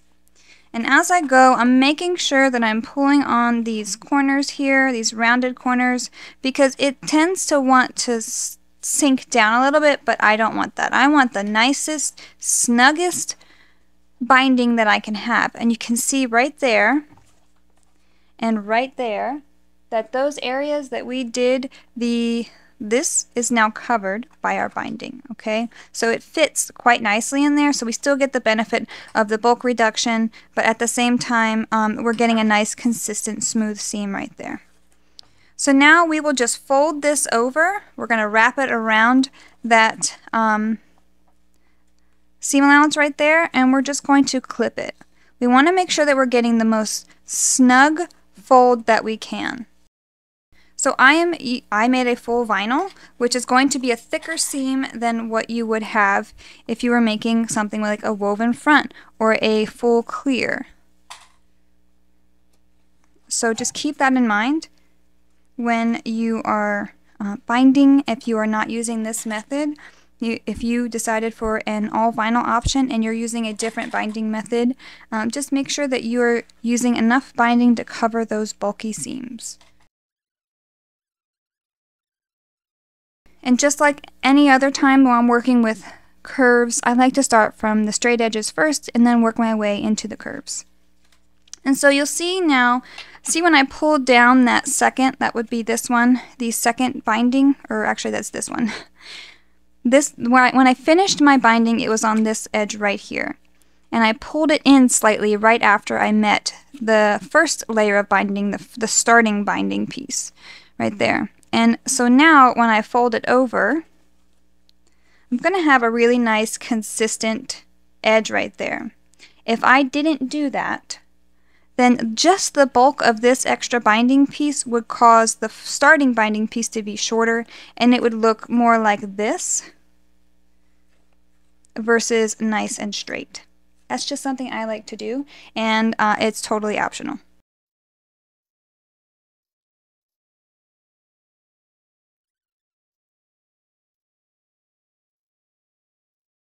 So I have most of my straight edges clipped here. Now I just need to work on my corners.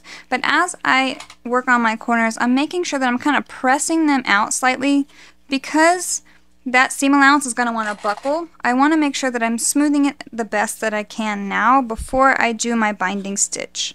And that's just going to give us the best results. So just kind of work it the best that you can.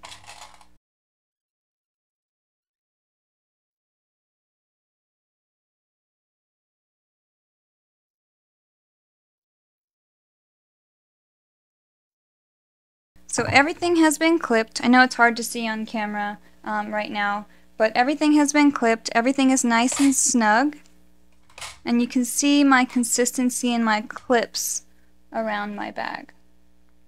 And so now, since I have a cylinder arm, this next step is easy for me because I have the ability to kind of allow my bag to rest below my presser foot and I can just guide it as I go. But if you have a flat bed, you might find it easier to do it um, with your middle panel up versus your gusset up. Either way, it should work just fine for you. So if you're going to use a quarter inch seam allowance from this folded edge right here, you're still going to come up about a eighth inch short of this folded edge right here. And if you are using this guide with your gusset side up and you're using a 1 8 inch seam allowance from this seam, like I'm going to do, you will still get a nice seam allowance all throughout. So I know that seems confusing. Again, in practice, it's a lot more easy to understand um, than it is me explaining it right now. So let's hope my battery survives this process. And I'm going to get started.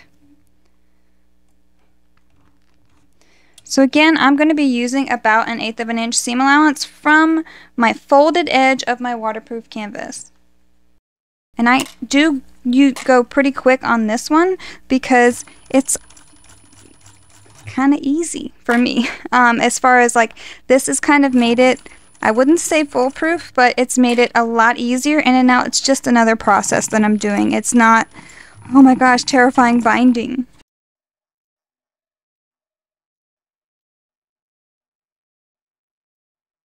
Again, be mindful because we're getting ready to go over that bulk of the slip pocket or front pocket. As I'm going around these edges, you see I have my finger underneath because I'm trying to keep my binding in the same position and make sure I'm feeling for any puckers. Now keep in mind as you're binding that I like to say in the pattern there's no such thing as perfect binding. But I think there's room and margin for error here, and I think that if we give ourselves a little bit of grace, we'll still have really good results.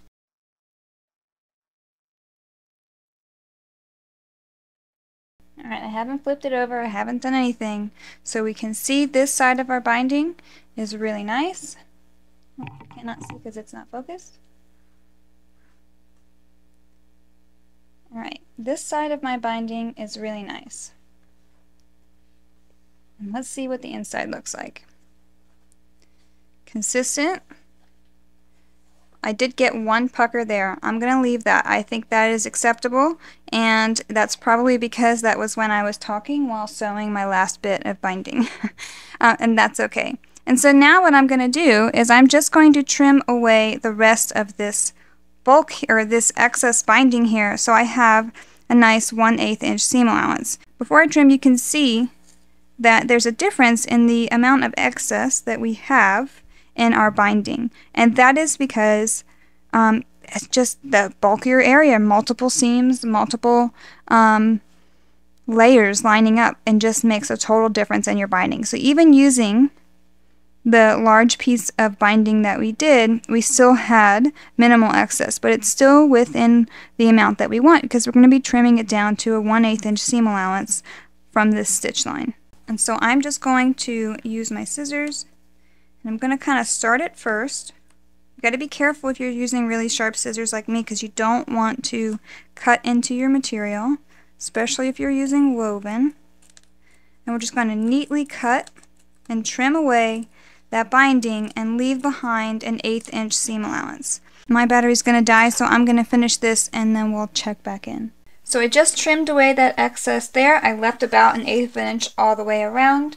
There are no stitches falling off of my binding whatsoever anywhere. It has a really nice appearance. And if you wanted for an, an even cleaner appearance that maybe can be a little bit more challenging, you can reverse the whole process and you can have this nice folded edge on the inside here on your middle panel. So I wanted to show you kind of just the difference between um, the waterproof canvas and the woven. So this is my personal bag. I kept it and this is the one that I um, sewed up for the written instructions and you'll recognize it there. Um, so you would just treat it just like you did um, your waterproof canvas version. Um, I sewed it on the gusset first, eased it around the curves with the snipping, went back, and then I just folded it under just like I did at the start of this one and ended my binding, right? So when it came time to fold it over, you would have already sewn down this section right here. So you would have these three sections left to accomplish the task of folding over this seam allowance and then folding under again so you have a folded finished edge like this and not a raw edge. And you should have a good amount to do that. And even if at some point that this basic fold right here with no space in between isn't enough, you can always just open it up just a little bit more and you're still going to get coverage.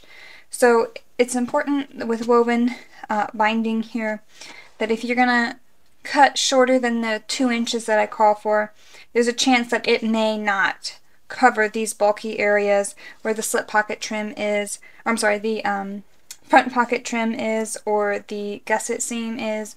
Those are areas where you need that extra coverage and so you just have to do what is best for you but if you're going to use woven uh, bias binding or prepackaged bias binding, just know that you might have some trouble getting full coverage on those bulky areas. So when it comes time to fold over that woven binding and you have that folded edge here, I want you to align it just past that 3 8 inch stitch line that you can see. Okay, See how mine is just past it? If I were to just push this back slightly, you would see my stitches. That's okay. I'm, I'm able to do that now because the bag is turned um, right, wrong side out, inside out. and, um, but when it's turned right side out, all of these seams are going to press on each other and those stitches will not be shown. And right now, your seam allowance is already good. We don't need to worry about that. You have your 3 8 inch seam allowance, which is your construction seam allowance. Now we're just covering those raw edges essentially. And so as you can see, it looks really good. No one's going to be able to know that those stitches are just under those folds there. And it's the same on this side as well. Although this one I was lazy and did not change my stitches back to the exterior color of my bag, but still, really great results. And then when you take it to your machine, you're going to be stitching using a 1 8 inch seam allowance from this folded edge and that's going to put you inside of your 3 8 inch seam allowance and you're going to be catching this bottom side because we know that we are aligning this fold with where that fold is because we're using our stitches as our guide. And so if we're giving ourselves an eighth of an inch, maybe a little bit more if you want to be careful, um, you know it's just it's going to fall within your seam allowance. And so the whole time I'm stitching this, I don't see this underside, but I know that I'm catching it just by the fact of what it is. It works, I've done it a whole lot, totally worth it, and it gives you the chance to add a nice contrasting binding to your bag to tie everything together. So now it's time to move on to installing the back panel onto our half assembled bag. And so what you want to do is you're going to repeat that process of attaching these tops and bottoms, but on these side seams, you want to make sure that this center side seam here is going to drop about 3 eighths inch below the center marking of your um, back panel. So if you're having a hard time figuring out where that 3 8 inch line is that you need to be following to match up your center sides, you have this triangle here that's left over from our folding techniques earlier. And as long as you were accurate with your drawing and with your seam allowances, from this edge to this tip of this point should be about 3 8 inch.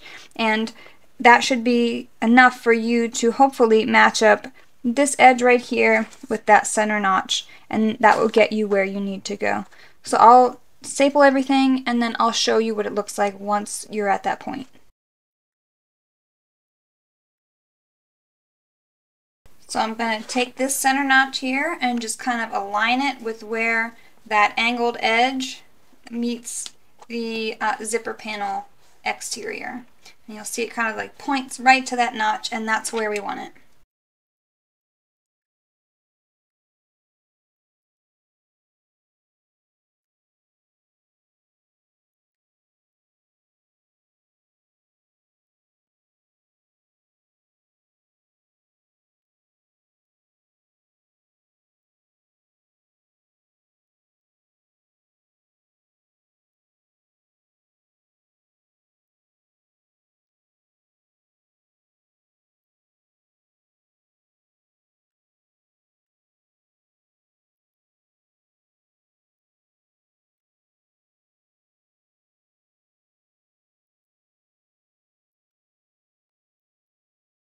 So throughout the process of sewing on this back panel, make sure that those D-rings on the inside of your bag are uh, pointing toward the center of your bag and not out. Um, once you start sewing, if you are sewing with your back panel like kind of on flat on your bed, it shouldn't be that big of a deal. But if it's flipped over and they're a little loose on in the D-ring anchor, um, then they will be flipping back and forth, and that's just something to keep in mind.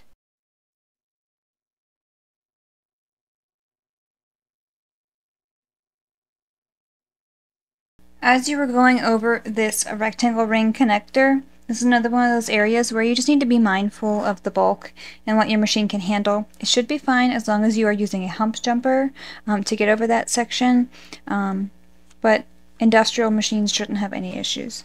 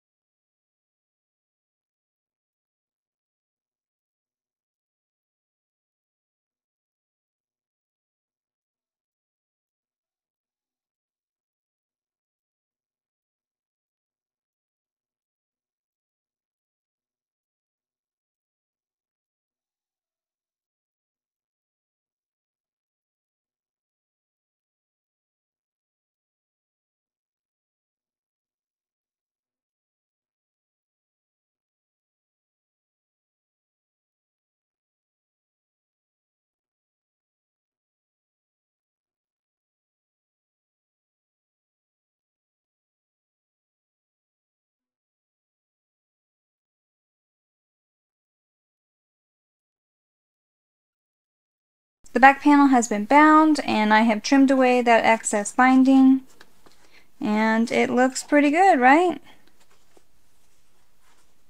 So now I'm going to turn this right side out and then um, give it a good press all over and then we will finish up the bag by just adding the strap. So there we have it. It's all nice and pressed and all my wrinkles have been mostly removed. I think there's a couple on the back that I could work a little harder on, but so far this is great. So I wanted to point out um, how, why I love foam so much. So um, again, I just used my normal stabilizer pieces that I would have been using Thermolam on. I used foam in the bottom gusset, the back panel, and the middle panel.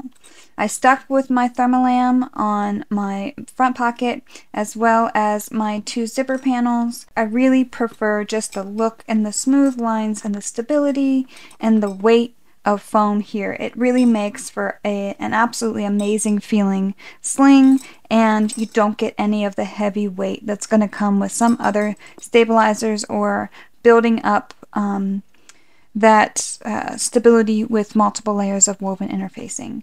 Now, again, the reason I did not write this into the pattern is because I got a really large amount of pushback on the Mayfield for foam, um, but, and a lot of people have a really hard time fusing it. So I just kind of wanted to say, if you can work on fusing your foam, if you can get that skill down, you will like the end result of a Rosie with foam if you can get there.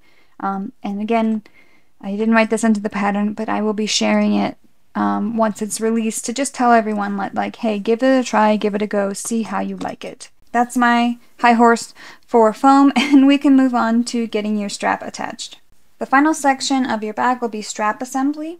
So you'll need your finished bag, woohoo, very excited, woohoo, um, your one and a half inch wide webbing, and again, you can vary this length. I'm using one that's 52 inches long.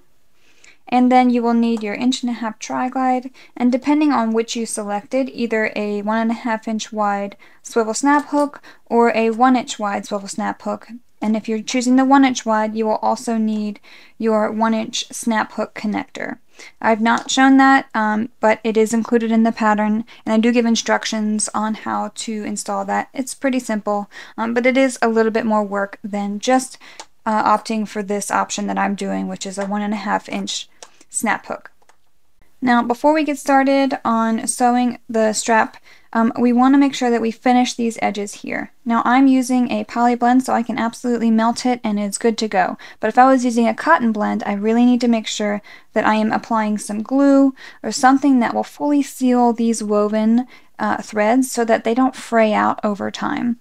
Um, it's really important to do this step. Um, if you're using glue, you will need to wait just a little bit longer after um, you uh, seal it with glue to let it dry so that it'll be fully dry by the time that you're going to sew um, it on to your tri-glide and your swivel snap hook. So I know that I have a directional, somewhat directional webbing, right? Some things are one way and some things are the other. But because I know that I have a Totoro on the top front of my bag, I want to make sure that Totoro stays upright.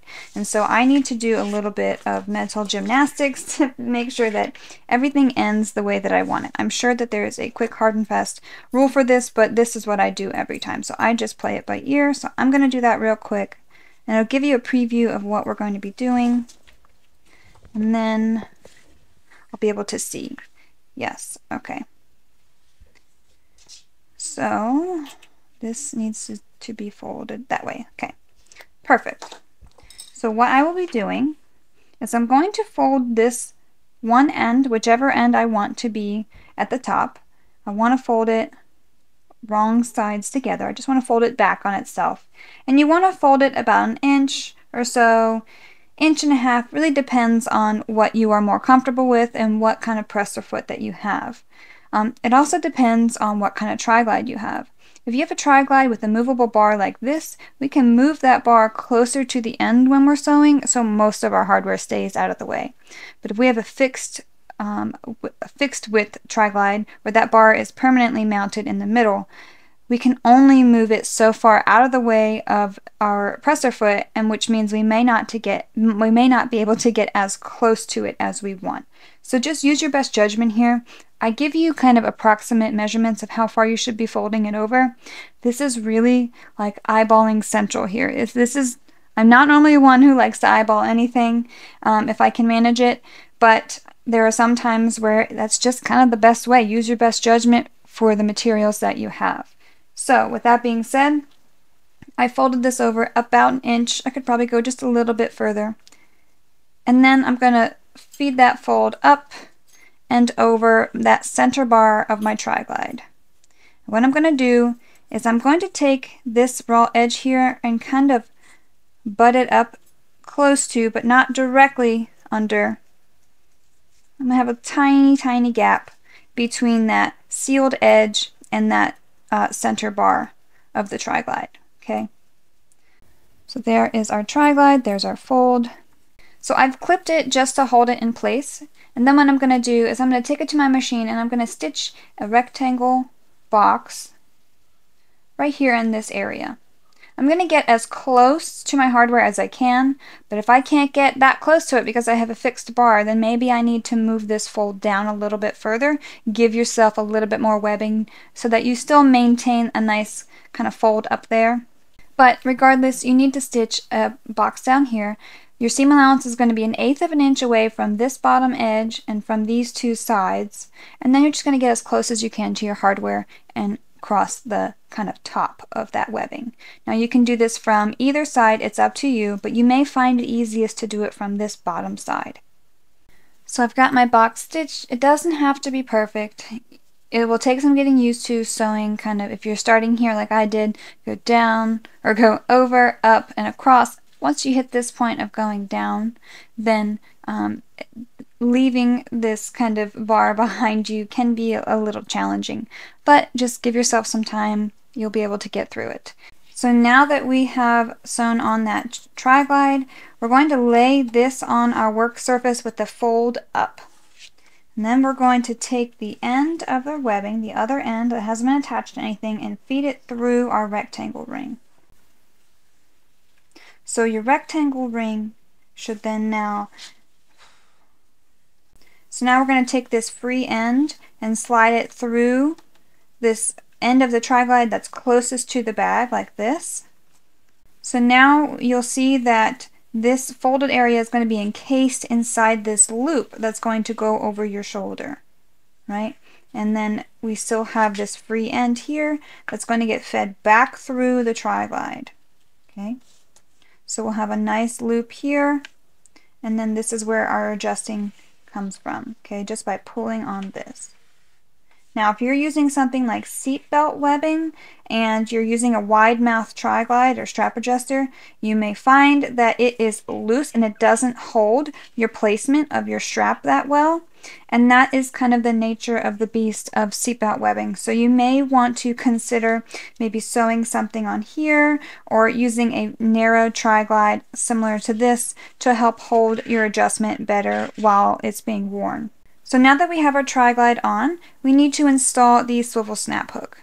Now you want to make sure that when you're putting your snap hook on, that the clip part is going to be on top, just like that bump on your tri-glide where the webbing is, is also on top, alright? This is what it should look like on the bottom with the bar and that kind of, you see that bottom loop there and on the top we have the rectangle with the hump through it, and then we should have our snap hook up top. So now on this free end of webbing, we're going to fold it over about an inch, inch and a half. Again, this is your preference. And then we're going to fold that back over the swivel snap hook like this, and we're going to clip it. So now that I have it clipped, I'm going to do the same thing I did before, which is I'm just going to sew a rectangle. And actually, I think I'm going to make mine just a little bit less tall because I don't need it that tall. So I'm, mine's about an inch, I would say. So yes, I will sew that rectangle and then our bag is done. So I've got my box all sewn on and something I didn't mention for the tri-glide but I meant to was that um, for the tri-glide you can totally and for this one, honestly, as long as you're backstitching neatly, you can feel free to backstitch.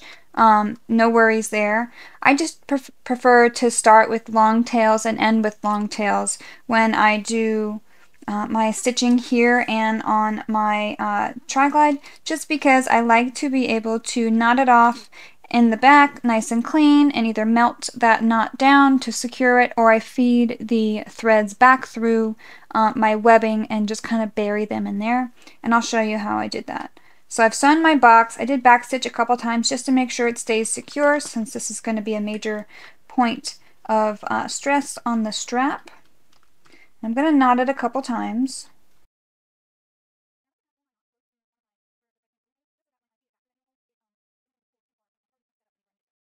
And so then I have this large-ish um, sewing needle or hand sewing needle and I'm going to feed it through one of my needle holes from the machine.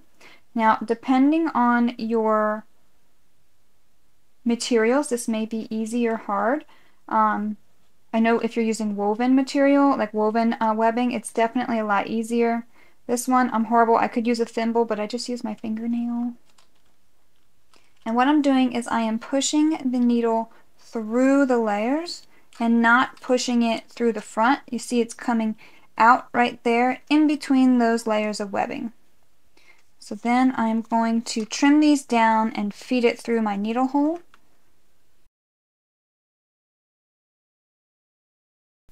I've got all four layers there. And then I'm going to push it through even further. And then I'm going to try and pull it through, but most of the time I need my pliers. Yep. So I just grab my pliers and kind of give it one good shove through. And then once I hit this point, I just pull the thread. And there we go. Just kind of buries it a little bit more. And sometimes I give it an even further tug just to make sure that that knot has went behind my uh, material here. So I have a clean front, a clean back, and then I'm going to just snip these down. Be careful you don't snip into your webbing. And that way it's nice and buried and nobody knows that you actually started and stopped stitching there. Now you can clip it on either D-ring for whichever side wearing you'd prefer. And then your bag is all done. Congrats on finishing your Rosie sling. Are you planning your next one yet? You can find me on social media. All my handles are at Knotted Threads Co. Feel free to use the hashtag Rosie Sling and tag me because I want to see them. Thanks for your support. Feel free to subscribe, like, share, all that good stuff whenever you can. Thanks and happy sewing. When I was writing the pattern for Rosie, she was abandoned with her two kittens. And we rescued her, we got her fixed, we got her taken care of, we've shown her some love, and in just two days she goes to her new home. And guess what her name is? Rosie.